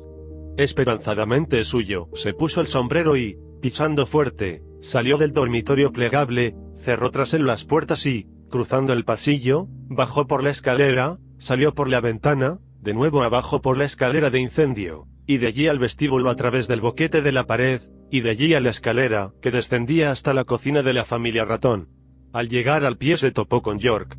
Esto sí que no lo querrás creer, dijo York. Oberon se detuvo y esperó, pero York no dijo nada más. Tenía el aire de quien había visto un fantasma, Oberon reconoció ese aire, pese a que nunca había visto antes a alguien que hubiese visto un fantasma. O el aire de un fantasma, si los fantasmas pueden parecer azorados, abrumados por emociones contradictorias y desconcertados. ¿Qué? preguntó. No. No lo vas a creer. Estaba en calcetines, con una bata colchada de boxeador. Tomó a Oberon de la mano y lo empezó a arrastrar por el pasillo hacia la puerta de la cocina. ¿Qué? Preguntó una vez más Oberon. La espalda del batín de York decía que pertenecía al Jonkers hace al llegar a la puerta, que estaba entreabierta, York se volvió a Oberon. Ahora, por amor de Dios, murmuró, implorante, no vayas a decir una sola palabra de, bueno, de esa historia. La historia que te conté. De. Miró de reojo la puerta entreabierta, Laila. Dijo, o más bien no dijo el nombre, solo lo formó con los labios, silenciosa, exageradamente, con un temeroso guiño de advertencia. Acto seguido abrió de par en par la puerta. Mira, dijo. Mira, mira, como si Oberon pudiera no mirar. Mi hija. La niña estaba sentada en el borde de la mesa, y balanceaba en el aire de atrás para adelante las desnudas piernas cruzadas. Hola, Oberon, dijo. Te has hecho mayor. Oberon, con una sensación como de bizquera en el alma pero mirando a la niña con firmeza, palpó el lugar de su corazón en que estaba guardada su Laila imaginaria. Seguía allí. Entonces esta era. Laila, dijo. Mi hijita. Laila, dijo York. Pero... ¿Cómo? No me preguntes cómo, dijo York. Es una larga historia, dijo Laila. La historia más larga que conozco. Hay una asamblea en preparación, dijo York. Un parlamento, dijo Laila. He venido a decíroslo. Ha venido a decírnoslo. Un parlamento, dijo Oberon. ¿Qué demonios? Escucha, hombre, dijo York. No me lo preguntes a mí. Yo bajaba para preparar un poco de café, cuando oí que llamaban a la puerta. Pero... ¿Por qué? preguntó Oberon. ¿Por qué es tan joven? ¿A mí me lo preguntas? Así que me asomé, y ahí estaba esta chiquilla, esperando en la nieve. Es que debería ser mucho mayor. Es que ha estado durmiendo. O algo por el estilo. Yo qué sé. De modo que abrí la puerta. Todo esto es más bien difícil de creer, dijo Oberon. Laila, con las manos enlazadas sobre la falda, había estado mirando ahora a uno, ahora al otro, sonriendo a su padre una sonrisa de amorosa alegría, y a Oberon una de astuta complicidad. Ahora los dos habían callado y la miraban. York se acercó a ella. Su rostro reflejaba una ansiosa, maravillada felicidad, como si él mismo acabara de empollar a Laila. Leche, dijo, chasqueando los dedos. ¿Qué te parecería un buen vaso de leche? A los niños les gusta la leche. ¿Verdad? No puedo, dijo, riéndose de su solicitud. No puedo aquí. Pero ya York había sacado de la nevera un bote de jalea y un jarrito de leche de cabra. ¿Seguro? dijo. Leche. Laila, dijo Oberon. ¿A dónde quieres tú que vayamos? ¿A dónde se celebrará la reunión? dijo Laila. El Parlamento. Pero... ¿Dónde? ¿Por qué? Oh, Oberon, dijo Laila, impaciente. Ellos os explicarán todo eso cuando vayáis. Tenéis que ir. ¿Ellos? Laila alzó los ojos al cielo en un gesto de fingida estupefacción. Oh, vamos, dijo. Solo tenéis que daros prisa, solo eso, para no llegar tarde. ¿Nadie va a ir a ninguna parte ahora? dijo York, poniendo en las manos de Laila el jarro de leche. Ella lo observó un momento con curiosidad, y lo puso sobre la mesa.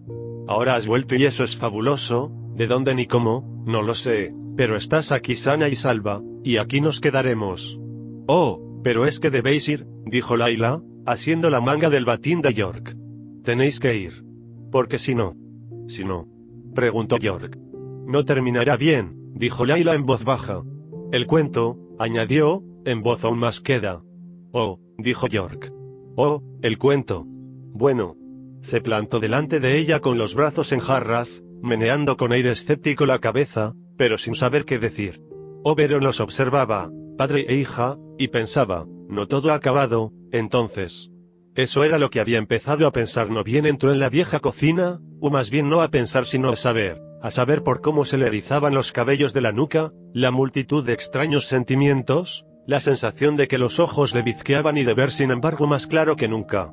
No todo terminado, durante largo tiempo él había vivido en un cuarto pequeño, un dormitorio plegable, y lo había explorado en cada uno de sus recovecos, había llegado a conocerlo como sus propias entrañas, y había decidido, esto está muy bien, esto bastará, aquí se puede vivir una especie de vida, aquí hay una silla junto al fuego y una cama para dormir y una ventana para asomarse a mirar. Y si era opresivo, sofocante, el hecho de que fuera hasta tal punto sensato, razonable, compensaba ese defecto. Y ahora, era como si hubiese bajado al frente azogado del guardarropa y encontrado, no una cama tendida con sábanas remendadas y un viejo edredón, sino un portal, un navío levando anclas con las velas tendidas, un amanecer ventoso y una avenida sombreada por árboles altos que desaparecían de la vista en lontananza. Lo cerró, atemorizado. Él había tenido su aventura. Él había transitado por sendas maravillosas, y no sin buenas razones las había abandonado. Se levantó, y fue pesadamente hasta la ventana. Las cabras, no ordeñadas, balaban quejosas en su apartamento. No, dijo. Yo no iré, Laila. Pero si ni siquiera sabes las razones, dijo Laila. No me importa. La guerra, dijo Laila. La paz. No me importa. De ahí él no se movería. Si el mundo entero pasara a su lado en marcha hacia allá, y era probable que lo hiciera, ¿él no lo echaría de menos? O tal vez sí, tal vez lo echara de menos, pero era preferible eso a vivir con el alma entre los dientes, a lanzarse de nuevo en ese mar, ese mar deseo, ahora que había escapado de él y encontrado una orilla. Nunca. Oberon, dijo Laila en voz baja, Sylvie estará allá. Nunca. Nunca, nunca, nunca. ¿Sylvie? dijo York. Sylvie, dijo Laila. Como ninguno de los dos parecía tener nada más que decir, y el silencio se prolongaba, Laila dijo, al fin. Ella me pidió que os lo dijera. No es verdad.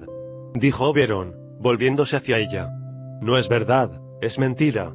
No, no sé por qué quieres engañarnos, no sé por qué ni para qué has venido, pero tú dirás cualquier cosa. No. Cualquier cosa menos la verdad. Igual, igual que todos ellos, porque a ti no te importa. No, no, tú eres tan perversa como ellos, tan perversa como esa Laila que York hizo volar, esa, la falsa. Oh, gran Dios, dijo York alzando los ojos al cielo. Esto sí que es espantoso. La voló. Dijo Laila, mirando a York. No fue culpa mía, dijo York, fulminando a Oberon con la mirada. Así que fue eso lo que le pasó, dijo Laila, con aire pensativo. Acto seguido se echó a reír. Oh, ellos se pusieron furiosos. Cuando las cenizas se dispersaron. Era viejísima, varias veces centenaria, la última que les quedaba. Con un revuelo de la falda saltó de la mesa. Ahora tengo que marcharme, dijo, y fue hacia la puerta. No, dijo Oberon. Espera. Marcarte. No, dijo York, y la cogió por el brazo. Es que hay tanto que hacer, dijo Laila. Y aquí todo está arreglado, así que. Oh, dijo. Me olvidaba. Vuestro camino es casi todo a través del bosque, así que será mejor que llevéis un guía. Alguien que conozca los bosques, y pueda orientaros. Llevad una moneda, para el barquero, y abrigaos bien. Hay montones de puertas, pero algunas son más rápidas que otras. No os demoréis, o llegaréis tarde al banquete. Estaba ya en la puerta, pero dio media vuelta para echarse de un salto en los brazos de York. Le rodeó el cuello con sus bracitos dorados, le besó las enjutas mejillas, y saltó de nuevo al suelo. Va a ser tan, tan divertido, dijo. Miró a los dos una vez más, con una sonrisita en los labios de simple picardía y placer, y se escabulló. York y Oberon oyeron el tap-tap de sus pies descalzos sobre el viejo linóleo del pasillo, pero no oyeron abrirse, ni cerrarse, la puerta de la calle. De una percha de sombreros desvencijada York descolgó un sombrero y su gabán, se los puso, se calzó las botas, y fue hasta la puerta, pero cuando llegó a ella pareció haber olvidado para qué o por qué se disponía a salir con tanta prisa. Miró en torno, y al no encontrar ninguna clave, fue a sentarse a la mesa. Lentamente Oberon fue y se sentó frente a York, y así estuvieron los dos, un tiempo en silencio, y por momentos sobresaltándose, pero sin ver nada, en tanto una cierta luz o significación iba desapareciendo de la cocina, devolviéndola a su vulgaridad, transformándola una vez más en una simple cocina en la que se preparaban potajes y se bebía leche de cabra, y donde dos solterones, galocha contra galocha, holgazaneaban sentados frente a frente, con todas las faenas aún sin empezar. Y un viaje en perspectiva, eso había quedado. Bueno, dijo York. ¿Qué? Miró a su primo, pero Oberon no había dicho nada. No, dijo Oberon. Ella dijo. Dijo York, pero no supo decir exactamente qué, no porque hubiera olvidado lo que había dicho Laila, solo que, caray, con las cabras allá balando a gritos, y el rumor de la nieve y el de su corazón dilatándose y contrayéndose, tampoco podía recordarlo. Sylvie, dijo Oberon. Un guía, dijo York. Se oyeron pasos en el corredor. Un guía, dijo York. Ella dijo que necesitaríamos un guía. Los dos a la par miraron la puerta, que en ese momento se abría. Fred Savage, con sus galochas, entró en la cocina listo para desayunar. Guía. Dijo. ¿Alguien va a alguna parte? La dama del bolso. ¿Es ella? Preguntó Sophie, corriendo un poco más el cortinado para poder mirar. Tiene que ser, dijo Alice. Que los faros de un automóvil enfilasen por entre los pilotes de piedra del portón, no era hoy en día un hecho lo bastante frecuente como para que se pensara que pudiera ser otro el visitante. El automóvil, largo y bajo, negro en la penumbra del anochecer, cruzó rebotando el descuidado camino pedregoso mientras sus ojos brillantes inundaban de luz el edificio.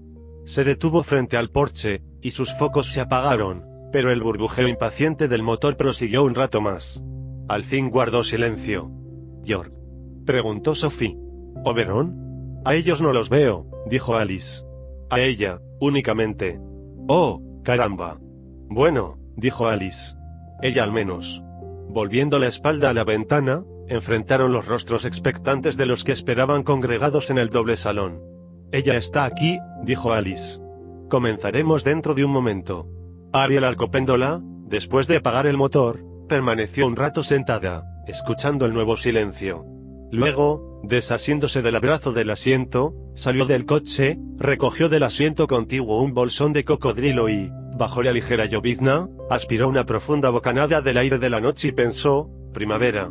Por segunda vez había viajado al norte hasta Bosque del Linde, esta vez a través de las rutas más transitadas y los baches de una red de carreteras degenerada, y pasando ahora por las garitas de control donde había tenido que mostrar visas y permisos, algo que cinco años antes, la primera vez que había venido aquí, hubiera parecido impensable.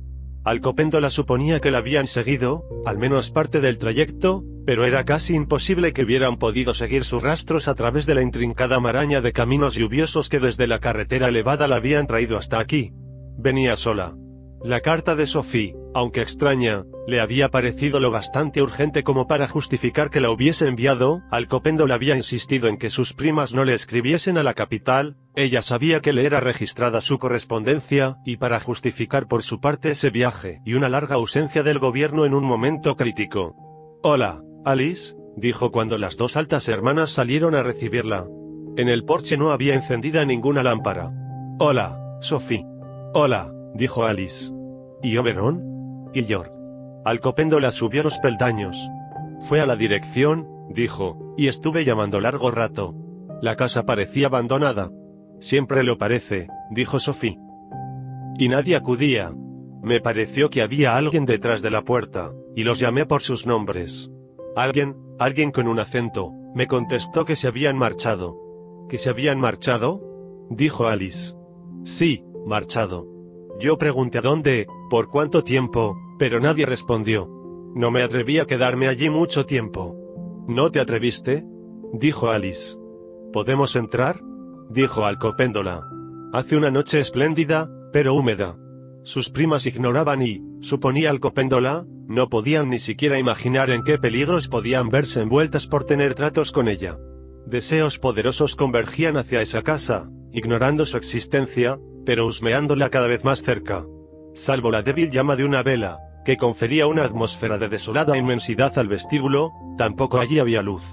Subiendo, bajando, dando vueltas y vueltas a través de los imposibles entresijos de la casa, Alcopéndola siguió también a sus primas hasta dos amplias salas donde había un fuego encendido, y lámparas, y donde muchos rostros se alzaron a su llegada, interesados, expectantes.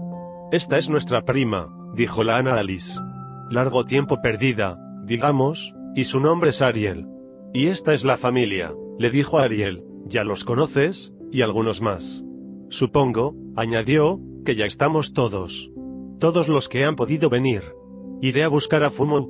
Sophie fue a sentarse a una mesa de juego donde había una lámpara encendida, una lámpara con una pantalla verde, y donde se hallaban las cartas. Al verlas allí Ariel Alcopéndola sintió que se le henchía, o se le encogía, el corazón. Cualesquiera otros destinos que esas cartas pudieran encerrar, Alcopéndola supo en ese momento con absoluta certeza, que el suyo estaba en ellas, era ellas. Hola, dijo, saludando brevemente a la asamblea con un movimiento de cabeza. Escogió una silla de respaldo recto entre una señora mayor, increíblemente vieja, de ojos clarísimos, y dos niños gemelos, varón y mujer, que compartían un sillón. ¿Y cómo? le preguntó Mark pero, ¿viene usted a ser prima nuestra? Hasta donde yo sé, dijo Alcopéndola, no soy realmente una prima. El padre de lo vieron que era hijo de Violet Bebeagua fue mi abuelo por un matrimonio ulterior. Oh, dijo Mark. Esa parte de la familia. Alcopéndola se sentía el blanco de todas las miradas. Se volvió, con una ligera sonrisa, a los dos niños que ocupaban el sillón, y que la estaban observando con una indefinible curiosidad. Raras veces han de ver gente extraña, supuso Alcopéndola, pero lo que Retoño y Florita estaban viendo, en persona, con asombro y una leve trepidación, Era ese enigmático y un tanto aterrador personaje de una canción que ellos solían cantar y que aparece en el momento crucial de la historia, la dama del bolso de cocodrilo. No robado aún. Alice subió a prisa las escaleras, orientándose en los tramos oscuros con la destreza de un ciego. Fumou, llamó cuando hubo llegado al pie de la estrecha espiral de peldaños empinados que subía a la horrería. No obtuvo respuesta, pero allá arriba había luz. Fumou.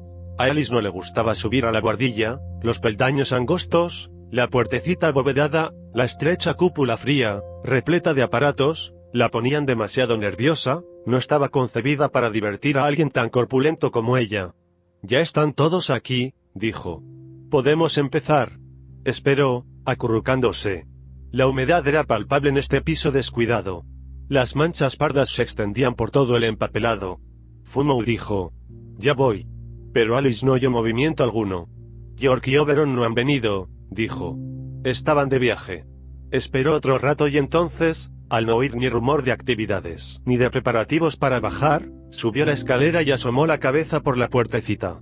Fumo estaba sentado en una banqueta pequeña, como un suplicante o un penitente ante su ídolo, la mirada fija en el mecanismo que ocupaba el interior de la caja de acero negra. Al verlo en esa actitud, ante el objeto de sus desvelos al desnudo, Alice se sintió un poco avergonzada, casi como una intrusa. Ya va, dijo Fumo otra vez, pero cuando se levantó fue solo para sacar una de las bolas del tamaño de un pelota de croquet, que estaban alineadas en la parte posterior de la caja. La colocó en el hueco de la mano de uno de los brazos articulados de la rueda, que la caja contenía y protegía. Lo soltó, y el peso de la bola hizo girar el brazo hacia abajo. Al moverse este, los otros brazos articulados también se pusieron en movimiento. Otro, clac clac clac, se extendió para recibir la próxima bola. ¿Te das cuenta de cómo funciona? Dijo Fumo con tristeza. No, dijo Alice. Una rueda que rompe el equilibrio, dijo Fumo. Estos brazos articulados, ¿ves? Se extienden bien rígidos de este lado gracias a las articulaciones. Pero cuando dan toda la vuelta hacia este lado, las articulaciones se repliegan, y el brazo descansa sobre la rueda. Bien.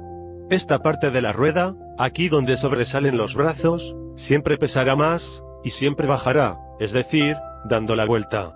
De modo que cuando pones la bola en el hueco, la rueda gira en descenso, y pone en actividad el brazo siguiente y otra bola cae en el hueco de la mano de ese brazo, y lo hace bajar y girar, y así sucesivamente. Oh. Fumo le estaba describiendo el proceso en un tono monocorde, como si fuera una vieja y mil veces repetida lección de gramática. Alice recordó de pronto que esa noche Fumo no había bajado a cenar. Entonces, prosiguió él, el peso de las bolas al caer en los huecos de los brazos de este lado levanta los brazos de este otro lado lo suficiente como para que se replieguen, y la taza se inclina, y la bola rueda, giró la rueda a mano para demostrarlo, y vuelve a la hilera, y rueda y cae en la taza del brazo, que acaba de extenderse de este lado, y este hace girar el brazo, y así hasta el infinito. Y en efecto, el brazo inactivo depositó su bola, y la bola rodó al brazo que, clac clac clac, extendió la rueda. El brazo fue transportado hasta el final del ciclo de la rueda. Luego se paró. Asombroso, dijo Alice con dulzura. Fumou, con las manos enlazadas en la espalda, Contemplaba la rueda inmóvil con aire sombrío. Es la cosa más estúpida que he visto en mi vida, dijo. Oh. Ese tipo nube ha de haber sido el inventor o el genio más estúpido que jamás. No se le ocurrió ninguna conclusión, y agachó la cabeza. Nunca funcionó, Alice, este artefacto nunca ha podido accionar nada. Nunca va a funcionar. Ella avanzó pisando con cautela entre las herramientas y las piezas sueltas y aceitadas y lo cogió del brazo. Fumou, dijo. Están todos abajo. Ariel Alcopéndola ha venido. Él la miró, y se echó a reír, una risa de frustración ante una derrota absurdamente definitiva. De pronto hizo una mueca, y se llevó rápidamente la mano al pecho. Oh, dijo Alice. Tendrías que haber comido. Es mejor cuando no como, dijo Fumou. Pienso. Vamos, dijo Alice. Ya lo encontrarás. Estoy segura. Tal vez podrías preguntarle a Ariel. Le dio un beso en la frente, salió delante de él por la puerta abovedada y, con una profunda sensación de alivio, bajó las escaleras. Alice, dijo Fumou. Es hoy. Esta noche, quiero decir. ¿Es eso? ¿Es qué? Es, no. Dijo él. Mientras atravesaban el corredor y bajaban al segundo piso, Alice no dijo nada. llevaba fumo del brazo, y pensó más de una cosa que podía decir, pero al fin, no tenía objeto alguno seguir hablando en clave, ella sabía demasiado, y él también, dijo tan solo, supongo. Casi. La mano de Fumo, la mano con la que se apretaba la clavícula, le empezó a hormiguear. Oh, dijo, y se detuvo. Estaban en el rellano superior de la escalera. Vagamente podía ver abajo las luces del salón, y oír las voces. Súbitamente las voces se diluyeron en un zumbido de silencio. Casi. Si era casi, entonces él había perdido, porque estaba muy retrasado, tenía trabajo por hacer que ni siquiera era capaz de concebir, y mucho menos comenzar. Había perdido. Un agujero enorme pareció abrirse en su pecho, un agujero más grande que él. El dolor se apretujaba en los contornos de los huecos, y Fumo supo que al cabo de un momento, de un momento interminable, el dolor penetraría violentamente y llenaría el vacío. Pero por el momento no era nada, nada más que una terrible premonición, y una incipiente revelación, ambas vacías, en pugna en su vacío corazón. La premonición era negra, y la revelación incipiente sería blanca. Se detuvo de golpe, tratando de no aterrorizarse por no poder respirar, no había aire dentro del vacío para que él lo respirase, solo la batalla entre premonición y revelación podía experimentar, y oír el largo, intenso zumbido que parecía ser una voz que le decía, ahora ves, tú no pediste ver y no es este el momento en que habrías en todo caso esperado, deseado que la visión viniera a ti, aquí en esta escalera y en esta oscuridad, pero es ahora. Y en ese mismo instante cesó. Su corazón, con dos terribles golpes secos como mazazos, empezó a latir frenética y resueltamente, como con furia, y el dolor, familiar y liberador, lo inundó. La batalla había concluido. Ya podía respirar dolor. Dentro de un momento respiraría aire. Oh, le oyó decir a Alice, oh, oh, uno de los bravos.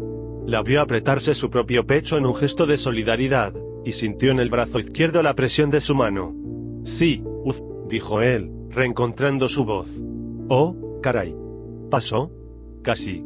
El dolor le bajaba por el brazo izquierdo, que ella retenía, adelgazándose en un hilo que se prolongaba hasta llegar al dedo anular, en el que no llevaba ningún anillo, pero del cual, y eso era lo que ella sentía ahora, un anillo le estaba siendo arrancado, a los tirones, un anillo que había usado durante tanto tiempo, que ya nadie podía quitarle sin seccionar el nervio y el tendón. Sal de una vez, sal, le dijo, y salió, o en todo caso se adelgazó un poco más. Ya está, dijo. Ya. Oh, fumo, dijo Alice. Ya. Ya pasó, dijo él. Reanudó el descenso hacia las luces del salón. Alice lo tenía, lo sostenía, pero él no estaba débil, ni siquiera estaba enfermo. El doctor Fish y los viejos libros de medicina del doctor Bebeagua estaban de acuerdo en que lo que él padecía no era una enfermedad sino una condición, compatible con una larga vida, e incluso por lo demás con la buena salud. Una condición, algo con que convivir. ¿Por qué, entonces, parecía ser revelación, una revelación que nunca llegaba del todo, y que no podía ser recordada después. Sí, había dicho el viejo Fish, la premonición de la muerte es una sensación frecuente con la angina, nada por qué preocuparse. Pero, ¿era de muerte? ¿Sería acaso esa la revelación, cuando llegase, si llegaba? Te dolió mucho, dijo Alice. Bueno, dijo Fumou, riéndose o jadeando. Creo que hubiera preferido que no ocurriera, sí, Puede que este sea el último, dijo Alice. Parecía imaginar los ataques como si fuesen estornudos, que uno grande al final limpiaba el sistema. Oh, apuesto a que no, dijo Fumo con mansedumbre. No creo que deseemos que sea el último. No. Bajaron las escaleras, sostenidos el uno en el otro. Aquí estamos, dijo Alice. Aquí está Fumo. Hola, hola, dijo él. Sofía alzó la vista de su mesa, y sus hijas de sus tejidos, y él vio reflejado en sus rostros su propio dolor. El dedo le hormigueaba aún, pero él estaba entero, el anillo que durante tanto tiempo había usado no le había sido robado todavía.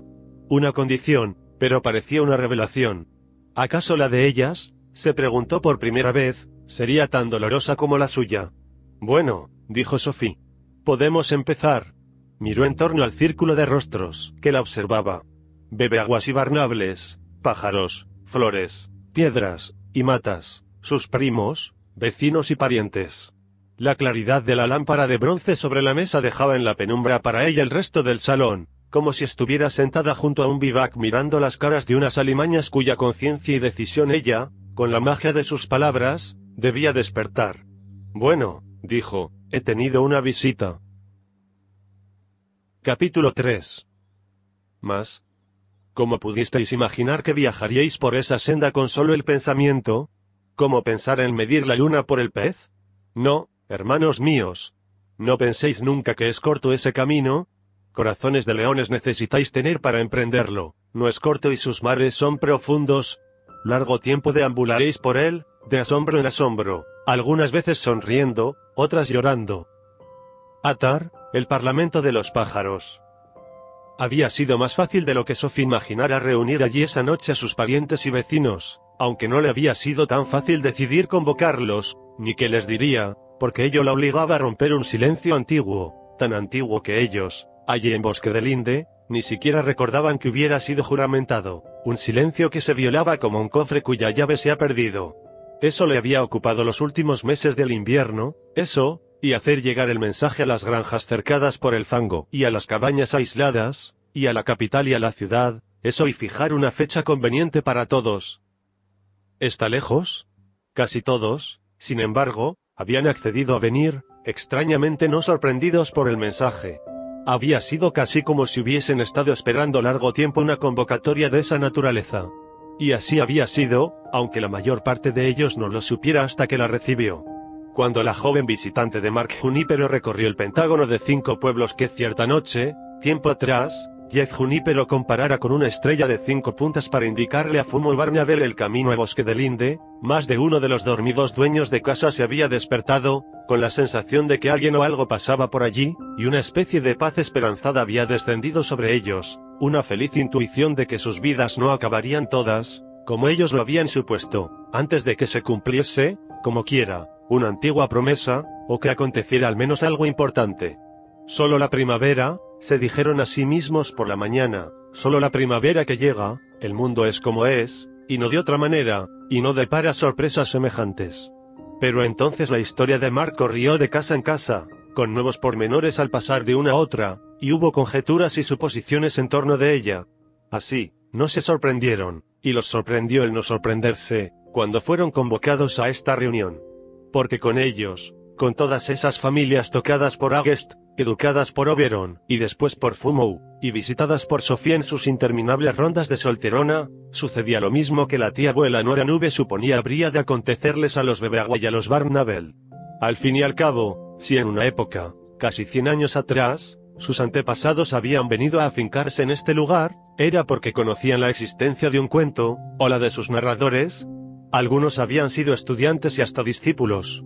Habían estado, o en todo caso, gentes como los Flores habían estado o creído ser partícipes de un secreto, y muchos de ellos habían sido lo bastante ricos para no necesitar ocupar su tiempo en algo más que meditar largamente sobre el cuento, en medio de los ranúnculos y el algodoncillo, que crecían silvestres en esas fincas, que compraban pero no cultivaban. Y aunque los tiempos difíciles habían empobrecido a sus descendientes, reduciendo a muchos de ellos a la categoría de artesanos, trabajadores eventuales, conductores de camiones de reparto, de granja, inextricablemente intercasados ahora con los lecheros y obreros a quienes sus bisabuelos no habían dirigido la palabra, seguían teniendo historias, historias que no se contaban en ningún otro lugar del mundo. Se habían empobrecido, sí.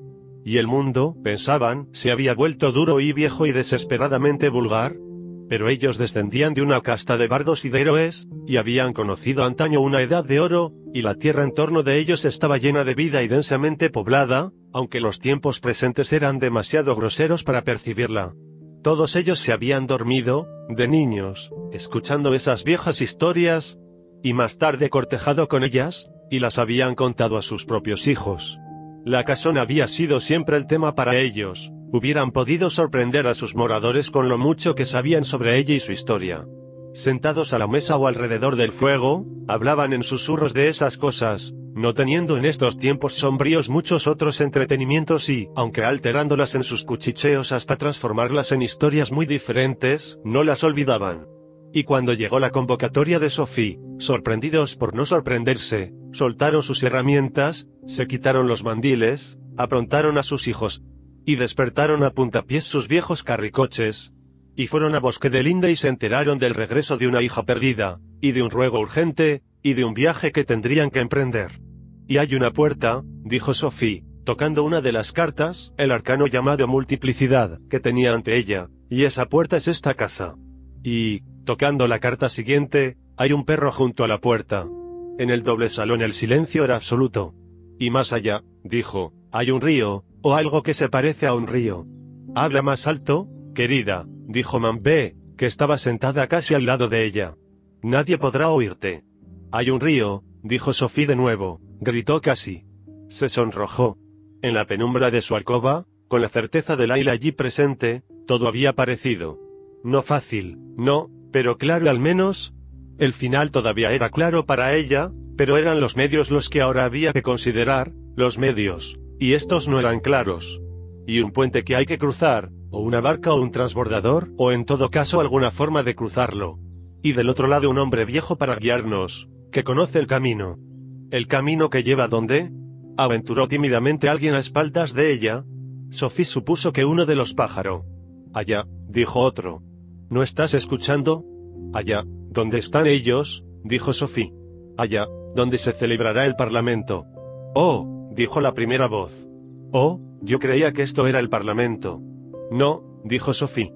Será allí. Oh. Volvió el silencio, y Sophie trató de recordar qué más sabía. ¿Está lejos, Sophie? preguntó Mark Junípero. Algunos no podemos ir lejos. No lo sé, dijo Sophie. No creo que pueda estar muy lejos. Recuerdo que a veces parecía lejos, y a veces cerca, pero no creo que pueda estar demasiado lejos. Quiero decir, demasiado lejos para que no podamos llegar, pero no lo sé. Ellos esperaban. Sophie miró sus cartas, las barajó. ¿Y si estuviera demasiado lejos? Florita dijo en voz baja. ¿Es hermoso? Tiene que ser hermoso. Retoño, a su lado, dijo. No, peligroso. Y terrible. Con alimañas para luchar. ¿Es una guerra? ¿No es cierto, tía Sophie? Ariel Alcopendo la miró de soslayo a los niños, y a Sophie. ¿Es eso, Sophie? dijo. ¿Es una guerra? Sofía alzó la vista y extendió las palmas vacías. No lo sé, dijo. Yo creo que es una guerra. Eso fue lo que dijo Laila. Es lo que tú dijiste, le dijo Ariel, en un tono de ligero reproche. Yo no lo sé. No lo sé. Se puso de pie, y se dio vuelta para mirarlos a todos. Todo lo que yo sé es que tenemos que ir, tenemos que ir para ayudarlos. Porque si no vamos, ellos desaparecerán. Se están muriendo. Eso lo sé. Oyéndose, yéndose tan lejos, ocultándose tan lejos que será como si se murieran. Y todo por nosotros. Y pensad, pensad qué pasaría, cómo sería todo si ellos no existieran nunca más. Ellos lo pensaron, o trataron de pensarlo, llegando cada uno a una distinta conclusión, o a una visión diferente, o a ninguna. Yo no sé dónde es, dijo Sophie, ni cómo iremos allí, ni qué podremos hacer para ayudar, ni por qué somos nosotros los que tenemos que ir. Pero sé que tenemos... que debemos intentarlo. Quiero decir, ni siquiera importa que queramos o no queramos ir. ¿No lo veis? Porque ni siquiera estaríamos aquí si no fuera por ellos. Yo sé que es así. No ir ahora. Eso sería algo así como nacer y crecer, y casarse y tener hijos, y de pronto, de buenas a primeras, decir, he cambiado de parecer, preferiría no haber cuando ya no habría allí ni una sola persona, siquiera para decir que preferiría no haber, a menos que ya hubiera. ¿Os dais cuenta? Y con ellos pasa lo mismo. Nosotros no podríamos rehusar a menos que fuésemos los que estamos destinados a ir, a menos que todos fuésemos a ir, en primer lugar. Paseó una mirada en torno, observando a cada uno, bebe aguas y barbables, pájaros, piedras, flores, matas y lobos, Charles Viñas y Cherry Lago, Retoño y Florita, Ariel Alcopéndola y Mark Junipero. Son y mediodía, el viejo Phil Flores y los hijos e hijas de Phil, los nietos y bisnietos y tataranietos. Echaba terriblemente de menos a su tía Nube, que hubiera podido decir de una forma tan sencilla e incontrovertible todas esas cosas. La Ana Alice, mejilla en mano, se limitaba a mirarla, y le sonreía. Las hijas de Alice cosían tranquilas, como si todo lo que Sofía acababa de decir fuese tan claro como el agua, por absurdo que le pareciera a Sofía mientras lo decía. Su madre asentía sensatamente, pero quizá no había oído bien, y los rostros de sus primos alrededor de ella parecían vivaces y atontados, claros y oscuros, transfigurados o imperturbables. Os he dicho todo lo que sé, dijo Sophie, desesperada. Todo lo que Laila dijo, que hay 52, y que tiene que ser el día del solsticio de verano, y que esta es la puerta, como siempre lo ha sido, y que las cartas son un mapa, y lo que ellas dicen, hasta donde yo puedo verlo, acerca del perro y el río, y todo lo demás. Ahora tenemos que pensar, pensar qué hacer. Y todos pensaron, desde luego, muchos no demasiado habituados al ejercicio. Muchos, aunque con las manos sobre la frente, o las puntas de los dedos unidas, se perdían en conjeturas disparatadas o sensatas, o se abismaban en sus recuerdos. Miraban o contaban las musarañas, sentían sus dolores, viejos o nuevos, y se preguntaban qué podían presagiar estos, este viaje u otro distinto, o rumiaban simplemente, mascando y saboreando la propia familiar naturaleza, o rememorando antiguos miedos o viejas consejas, o evocando el amor o el bienestar, o no hacían ninguna de estas cosas. Podría ser fácil, dijo Sophie con fervor. Podría ser. Un solo paso. O podría ser difícil. Tal vez, dijo, sí, quizá no sea un solo camino, no el mismo camino para todos. Pero hay un camino, tiene que haber. Tenéis que pensar en él, cada uno de vosotros, tenéis que imaginarlo. Ellos lo intentaban, agitándose en sus asientos, cruzando de otra forma las piernas, pensando norte, sur, este, oeste, pensando en cómo era que estaban aquí, en todo caso, suponiendo que si pudiera verse un sendero hacia allá, entonces tal vez su continuación sería clara, y en el silencio del pensar oyeron un sonido que ninguno de ellos había escuchado aún ese año, los pajaritos, despertando de súbito con su única palabra. Bueno, dijo Sophie, y se sentó. De un manotazo juntó las cartas como si hubiesen acabado de contar su parte de la historia. Sea como sea. Iremos paso a paso.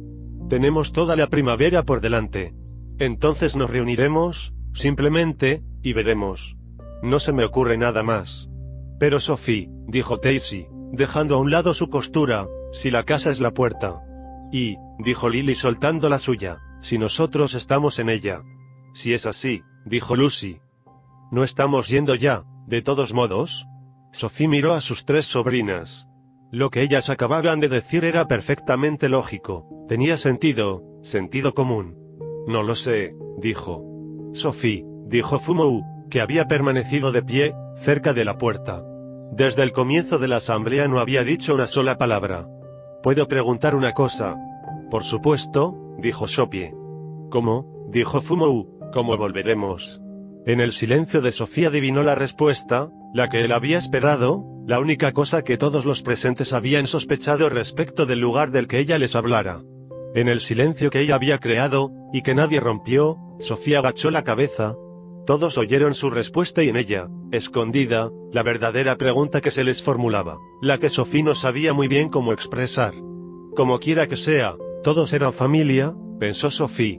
O en todo caso, si venían, contaban, y si no, no, así de sencillo. Abrió la boca para preguntar. ¿Vendréis, entonces? Pero sus rostros, tan diversos, tan familiares, la intimidaron, y no pudo hacerlo. Bueno, dijo. A través de las lágrimas centelleantes que le empañaban los ojos, los veía ahora confusos, borrosos. Esto es todo, supongo. Retoño y Florita saltaron del sillón. Ya sé, dijo la niña. Nos cogemos todos de la mano, en un círculo, para juntar fuerzas, y decimos todo a la par. Iremos. Miró en derredor. De acuerdo.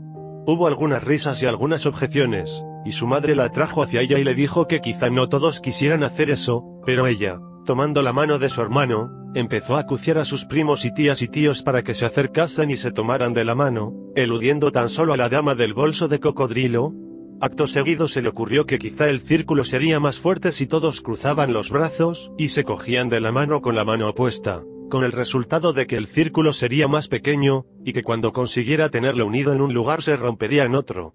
Nadie me hace caso, se quejó Sophie, quien se limitaba a mirarla sin oírla, pensado que podría ser de ella, de los valientes, e incapaz de imaginarlo, y justo en ese momento Mambé, que no había oído el plan propuesto por Florita, se levantó, tambaleándose, y dijo, Bueno, hay café y té y otras cosas en la cocina, y bocadillos, y eso rompió más aún el círculo.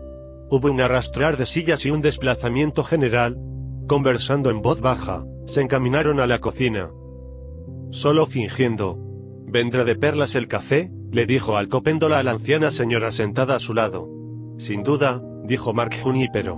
Solo que no estoy segura de si merece la pena levantarse para ir a buscarlo. Usted sabe. ¿Me permitirá, dijo al copéndola, que le traiga una taza? Es usted muy amable, dijo Mark con alivio. Había sido un verdadero problema para todos traerla hasta aquí, y se alegraba de poder quedarse sentada en el sitio en que la habían puesto. Bien, dijo al copéndola. Echó a andar detrás de los otros, pero se detuvo ante la mesa donde Sophie, mejilla en mano, escrutaba con angustia, o con sorpresa, las cartas. Sophie, dijo. Sofía alzó el rostro y miró al copéndola, un temor o respeto brillaba ahora en sus pupilas. ¿Y si fuera demasiado lejos? dijo. ¿Y si yo estuviera totalmente equivocada? No creo que puedas estarlo, dijo al copéndola, en cierto modo.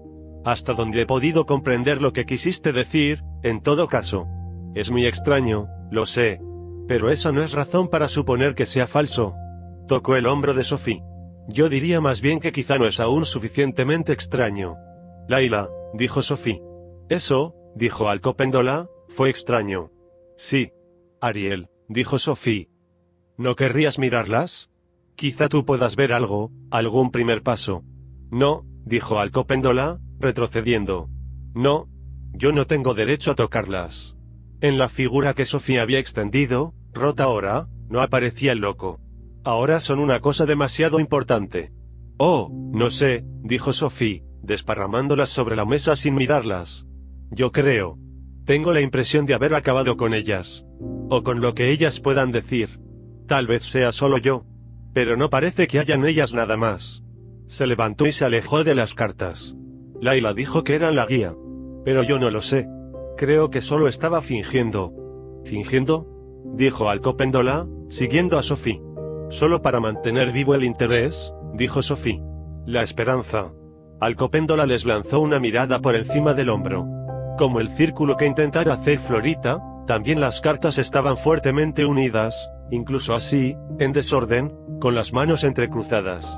Acabado con ellas. Volvió rápidamente la cabeza, le hizo un gesto amistoso a la señora a cuyo lado había estado sentada durante la reunión, y que la anciana dama no pareció ver. Y en verdad, Mark Junipero no la veía, pero no era la mala vista, ni la dispersión de la atención propia de la edad lo que la cegaba. Estaba absorta, simplemente absorta, como Sophie les había pedido que lo hicieran pensando en cómo podría ella ir andando hasta ese lugar, y qué podría llevar consigo, una flor seca conservada entre las páginas de un libro, un chal bordado con esas mismas flores, un relicario que contenía un rizo de cabellos negros, un acróstico de San Valentín en el que las letras de su nombre eran las mismas iniciales de sentimientos ahora mustios hasta el sepe y la insinceridad, y cómo podría economizar sus fuerzas hasta el día en que tuviera que ponerse en camino. Porque ella sabía cuál era ese lugar del que Sofía hablaba. En los últimos tiempos la memoria de Mark se había debilitado, lo que equivale a decir que ya no guardaba, depositado en ella, el tiempo pasado, no era lo bastante resistente para retener los momentos, las mañanas y los atardeceres, de su larga vida. Rotos los diques, sus recuerdos fluían juntos, confundidos, indiferenciables del presente. Con la edad, su memoria se había vuelto incontinente, y ella sabía muy bien cuál era ese lugar al que tenía que ir. Era el lugar al cual, unos 80 años atrás, o ayer, había oído a Guest bebe agua, y también el lugar en el que ella se había quedado cuando él se marchó. Era el lugar el que van todas las esperanzas jóvenes cuando se hacen viejas y las hemos perdido, el lugar a donde van los comienzos cuando llegan los finales, y luego se van, también ellos. El día del solsticio de verano, pensó, y se puso a contar los días y semanas que faltaban hasta él, pero se olvidó de qué estación era esta en la que empezaba a contar, así que desistió. ¿A dónde era que iba? En el comedor, Alcopéndola se topó con Fumou, solitario en el rincón, perdido al parecer en su propia casa y en sus pensamientos. ¿Cómo entiende usted todo esto, señor Barnabel? le preguntó. ¿Hectómetros? Fumou tardó un momento en distinguirla. Oh, no lo entiendo. No, no lo entiendo. Se encogió de hombros, no como quien se disculpa, sino como si fuera una postura que estuviese tomando, solo un aspecto de la cuestión, aunque del otro había también mucho que decir. Desvió la mirada. ¿Y cómo? dijo ella, viendo que no debía insistir en ese tema, marcha su herrería. ¿Ha conseguido ponerla en funcionamiento? También esta parecía ser una pregunta inoportuna. Fumo suspiró. ¿En funcionamiento? No, dijo. Todo a punto para que funcione. Solo que no funciona. ¿Cuál es la dificultad? Él hundió las manos en los bolsillos. La dificultad, dijo, consiste en que es circular.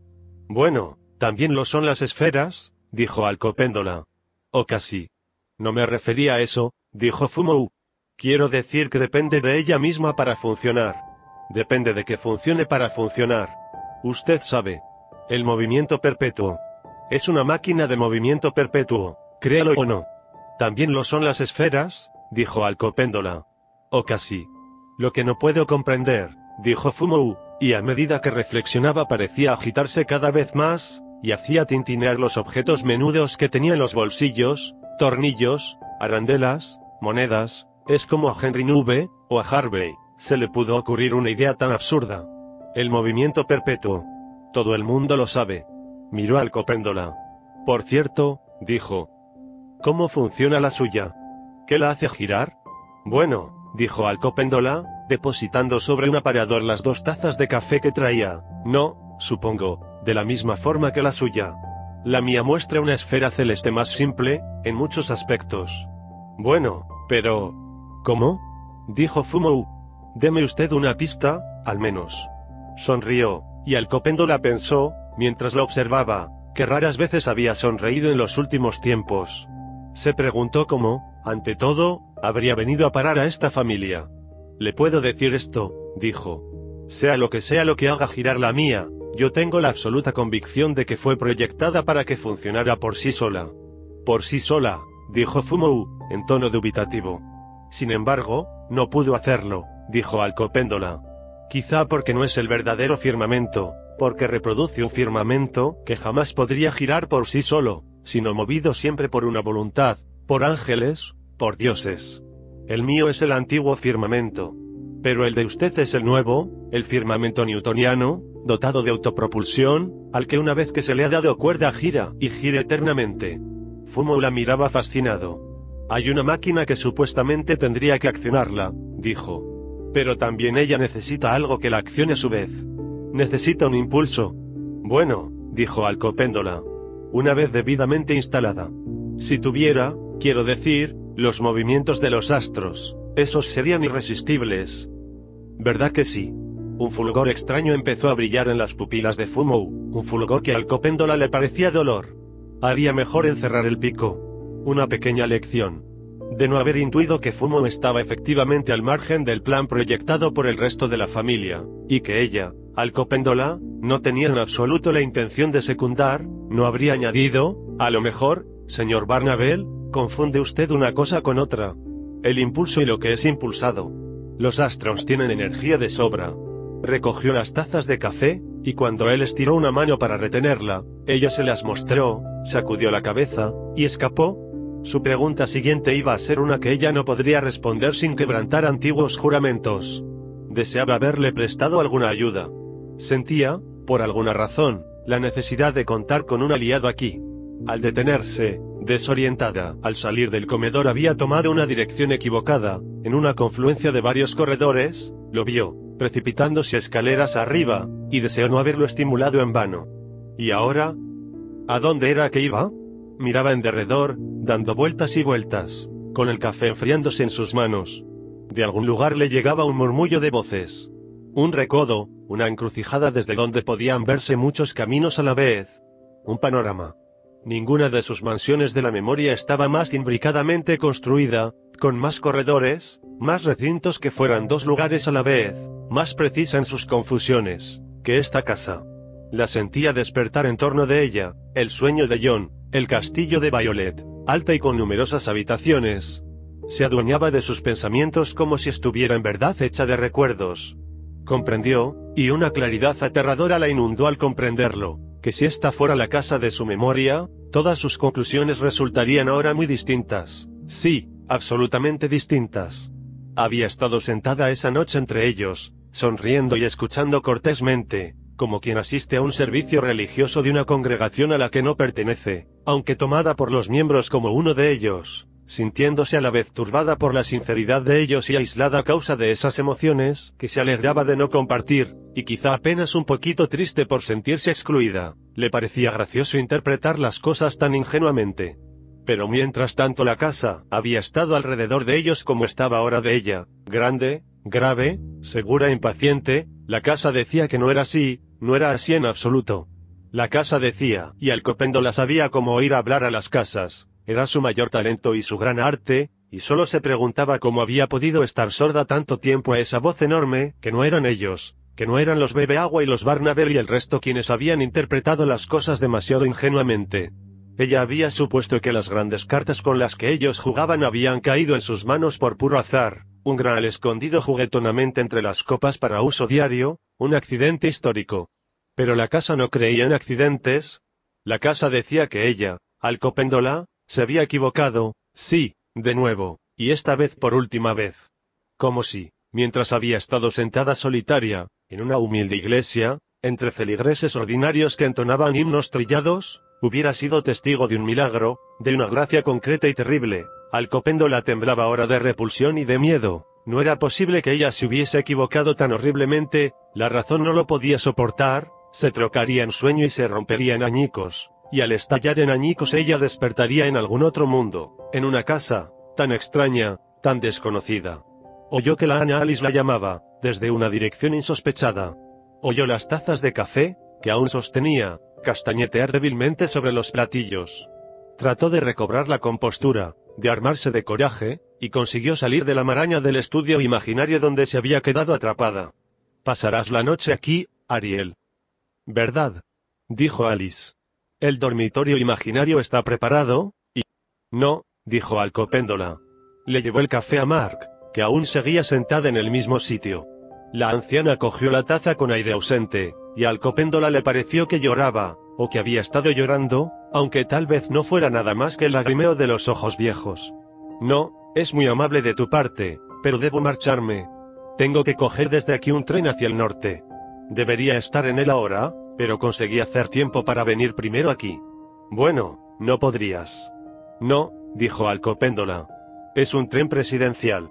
Con servicio principesco. ¿Sabes? Él está realizando una de sus giras. No sé para qué se toma la molestia. O lo fotografían, o lo ignoran. Todavía. Los invitados se retiraban, poniéndose gruesos abrigos y gorros pasamontañas. Muchos se detenían a hablar con Sophie. Alcopéndola vio que uno de ellos, un hombre anciano, lloraba mientras hablaba, y que Sofía lo abrazaba. ¿Irán todos, entonces?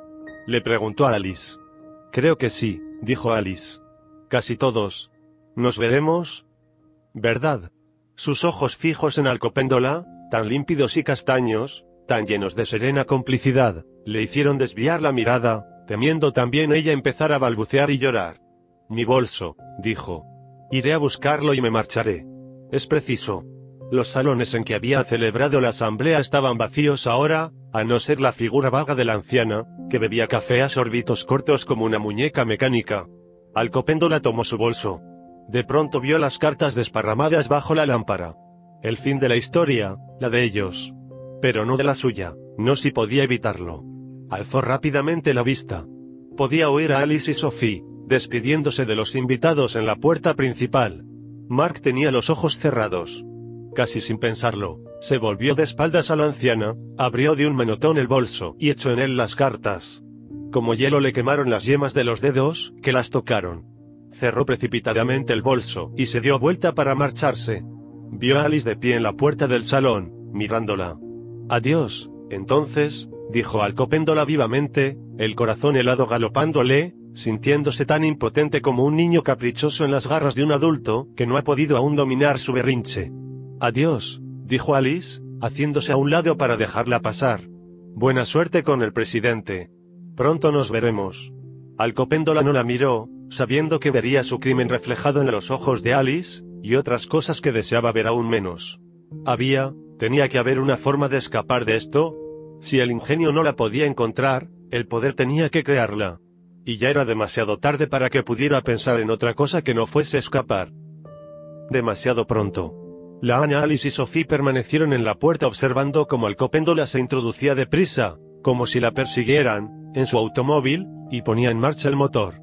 El vehículo corcoveó hacia adelante como un potrillo, y partió como una flecha por entre los pilotes de piedra hacia la noche y la niebla. Retrasada para su tren, dijo Alice. ¿Te parece que ella vendrá, sin embargo? Dijo Sophie. Oh, dijo Alice, vendrá, sí, vendrá. Volvieron la espalda a la noche, y cerraron la puerta. Pero Oberon, dijo Sophie. Oberon y York. Está todo bien, Sophie, dijo Alice. Pero... Sophie, dijo Alice. ¿Querrías hacerme compañía un rato? Yo no voy a dormir. El semblante de Alice estaba sereno, y sonreía, pero Sofía oyó una súplica, hasta algo así como un temor. Dijo. Claro que sí, Alice. ¿Qué te parece la biblioteca? Dijo Alice. Nadie entrará allí. De acuerdo. Siguió Alice a la gran estancia oscura. Con una cerilla de cocina Alice encendió una lámpara y le bajó la mecha. En la niebla, del otro lado de las ventanas, parecían flotar unas luces vagas, pero no podía verse nada más. Alice. Dijo. Alice pareció despertar de algún ensueño, y miró a su hermana. Alice. ¿Tú sabías todo lo que yo iba a decir, esta noche? Oh, casi todo, supongo. ¿Lo sabías? ¿Desde cuándo? No sé. En cierto modo, dijo, mientras se sentaba con lentitud en un extremo del largo sofá de cuero, en cierto modo creo que siempre lo supe, y todo el tiempo se me aparecía cada vez con más claridad. Excepto cuando. ¿Cuándo? Cuando se volvía más oscuro. ¿Cuándo? Bueno, cuando las cosas parecían no marchar como se suponía que debían hacerlo, o incluso lo contrario. Momentos en que, en que era como si todo nos fuera quitado. Sophie desvió la mirada, pese a que su hermana había hablado con extrema dulzura, y en modo alguno en tono de reproche, ella sabía a qué épocas se había referido Alice, y le pesaba ver, aunque solo fuera por un día, empañado sus certidumbres. Y tanto, tanto tiempo atrás. Después, sin embargo, dijo Alice, cuando las cosas, tú sabes, empezaron a tener sentido otra vez, tenían incluso mucho más sentido, y te parecía tan absurdo que hubieras pensado alguna vez que no estaba todo bien, que podías haberte engañado. No es verdad. No fue así. No lo sé, dijo Sophie. Ven, siéntate, dijo Alice. No fueron así las cosas para ti. No. Se sentó junto a Alice y ésta extendió una manta afgana multicolor sobre los hombros de ambas. Sin fuego chisporroteando en el hogar, hacía frío en la espaciosa biblioteca. Yo creo que no, que desde que yo era pequeña, tenían cada vez menos sentido. Era difícil hablar de esas cosas después de tantos años de silencio. En un tiempo, años atrás, paroteaban sobre ellas incansablemente, no buscándoles un sentido, una explicación, sino mezclándolas con sus sueños y con los juegos que jugaban, sabiendo con tanta certeza como entenderlas porque no veían diferencia alguna entre ellas y sus deseos, sus ansias de felicidad, de aventuras, de prodigios. Repentinamente, tuvo una visión, un recuerdo, tan vivido y total que era como si estuviera presente, de ella y Alice desnudas, en ese paraje del linde del bosque.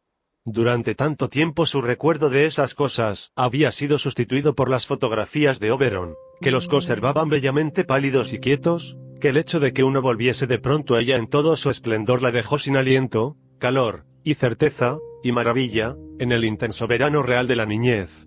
Oh. ¿Por qué? dijo, ¿Por qué no nos habremos ido entonces, cuando sabíamos? Cuando hubiera sido tan fácil?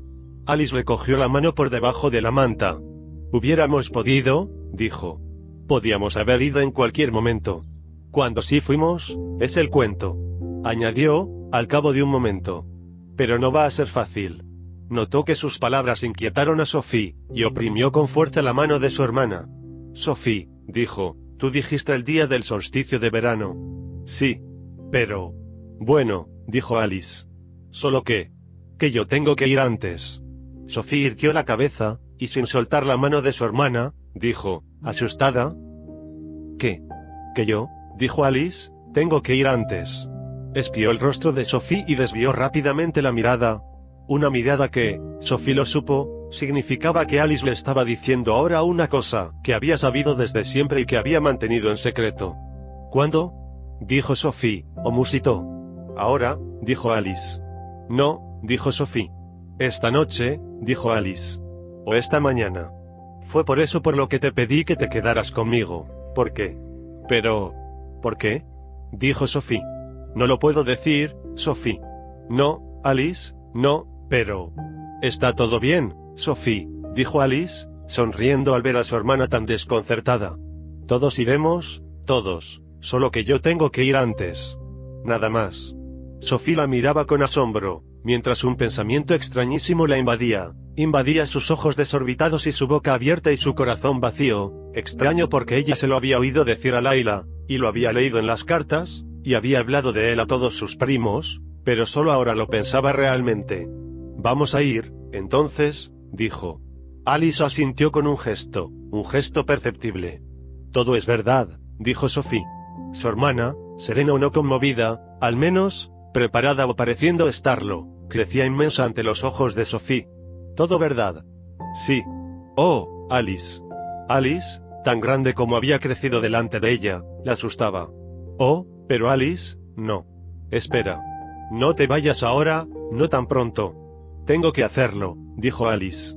Pero entonces yo me quedaré. Y todos. Arrojó a un lado la manta y se puso de pie, para protestar. No, no te vayas sin mí. Espera. Tengo que hacerlo, Sophie, porque... Oh, no lo puedo decir, es demasiado extraño para que lo diga, o demasiado tonto. Tengo que irme, porque si no voy no habrá lugar alguno a donde ir. Para ti, para todos. No comprendo, dijo Sophie. Alice se rió, una risita que era como un sollozo. Yo tampoco, todavía. Pero, pronto. Pero sola, dijo Sophie. ¿Cómo puedes? Alice no respondió a esta pregunta, y Sophie se mordió los labios por haberla hecho. Valiente. Un amor inmenso, un amor semejante a la piedad más profunda, la desbordó, y cogió de nuevo la mano de Alice. De nuevo se sentó a su lado. En algún lugar de la casa un reloj dio una hora temprana de la madrugada, y las campanadas, una a una, traspasaron a Sophie como puñales. ¿Tienes miedo? preguntó, sin poder evitarlo. Acompáñame aún un rato, dijo Alice. No falta mucho para que amanezca. Arriba, lejos, sonaron pasos, pasos rápidos, pesados. Las dos hermanas alzaron la cabeza. Los pasos sonaron arriba, luego en un corredor, y después rápidos y ruidosos, escaleras abajo. Alice oprimió la mano de Sophie, de una manera que Sophie comprendió, aunque lo que comprendía que Alice le decía con ese gesto la conmovió más profundamente que todo cuanto su hermana le había dicho hasta ese momento. Fumu abrió la puerta de la biblioteca y se sobresaltó al ver a las dos mujeres sentadas en el sofá. «Ey. ¿Todavía levantadas?» dijo. Su respiración era agitada. Sofía estaba segura de que leería la angustia en sus rostros, pero no, no pareció notarlo. Fue hasta la lámpara, la cogió, y empezó a dar vueltas por la biblioteca escudriñando los anaqueles poblados de obscuridad. No sabríais, por casualidad, dijo, por dónde pueden andar las efemérides. ¿Las qué? dijo Alice. Las efemérides, dijo él, sacando un libro y volviéndolo a poner en el estante. El libraco rojo que da las posiciones de los planetas. Para cada fecha. ¿Tú sabes cuál? ¿El que tú solías consultar cuando mirábamos las estrellas? Ese mismo. Se volvió hacia ellas. Todavía jadeaba ligeramente, y parecía dominado por una tremenda excitación. Ninguna idea. Levantó en alto la lámpara. ¿No lo vais a creer? dijo. Tampoco yo puedo creerlo, todavía. Pero es la única cosa que tiene sentido. La única idea lo bastante descabellada como para tener sentido. Esperó que ellas lo interrogaran, y al cabo Alice dijo. ¿Qué? La horrería, dijo él. Va a funcionar. Oh, dijo Alice. Y no solo eso, añadió, como si aún no pudiera salir de su asombro, pero triunfal. Creo que fue ideada para eso. Creo que todo va a funcionar. Era todo tan simple. Nunca se me había ocurrido. ¿Te imaginas, Alice? La casa revivirá. Si ese artefacto funciona, hará girar las correas. Hará funcionar los generadores. Luz. Calor. La lámpara que sostenía les mostraba su rostro, transfigurado, y al parecer al borde de un paroxismo peligroso que hizo que Sophie se encogiera, asustada.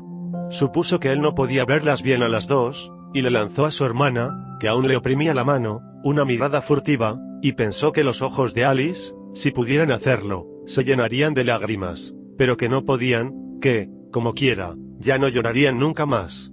Qué bien, dijo Alice. Bien, dijo Fumou, reanudando su búsqueda. Tú piensas que yo estoy loco. Yo pienso que estoy loco. Pero pienso que tal vez Harvey Nubie no estaba loco. Tal vez. De debajo de otros, que cayeron al suelo ruidosamente, sacó un libro voluminoso. Aquí está, aquí está, este es, dijo, y sin volverse a mirarla se encaminó a la puerta. La lámpara, Fumou, dijo Alice. Oh, perdón. Se la estaba llevando, sin darse cuenta. La puso encima de la mesa, y les sonrió. Pareció tan infinitamente feliz que ellas no pudieron devolverle la sonrisa. Salió casi corriendo, con el libraco bajo el brazo.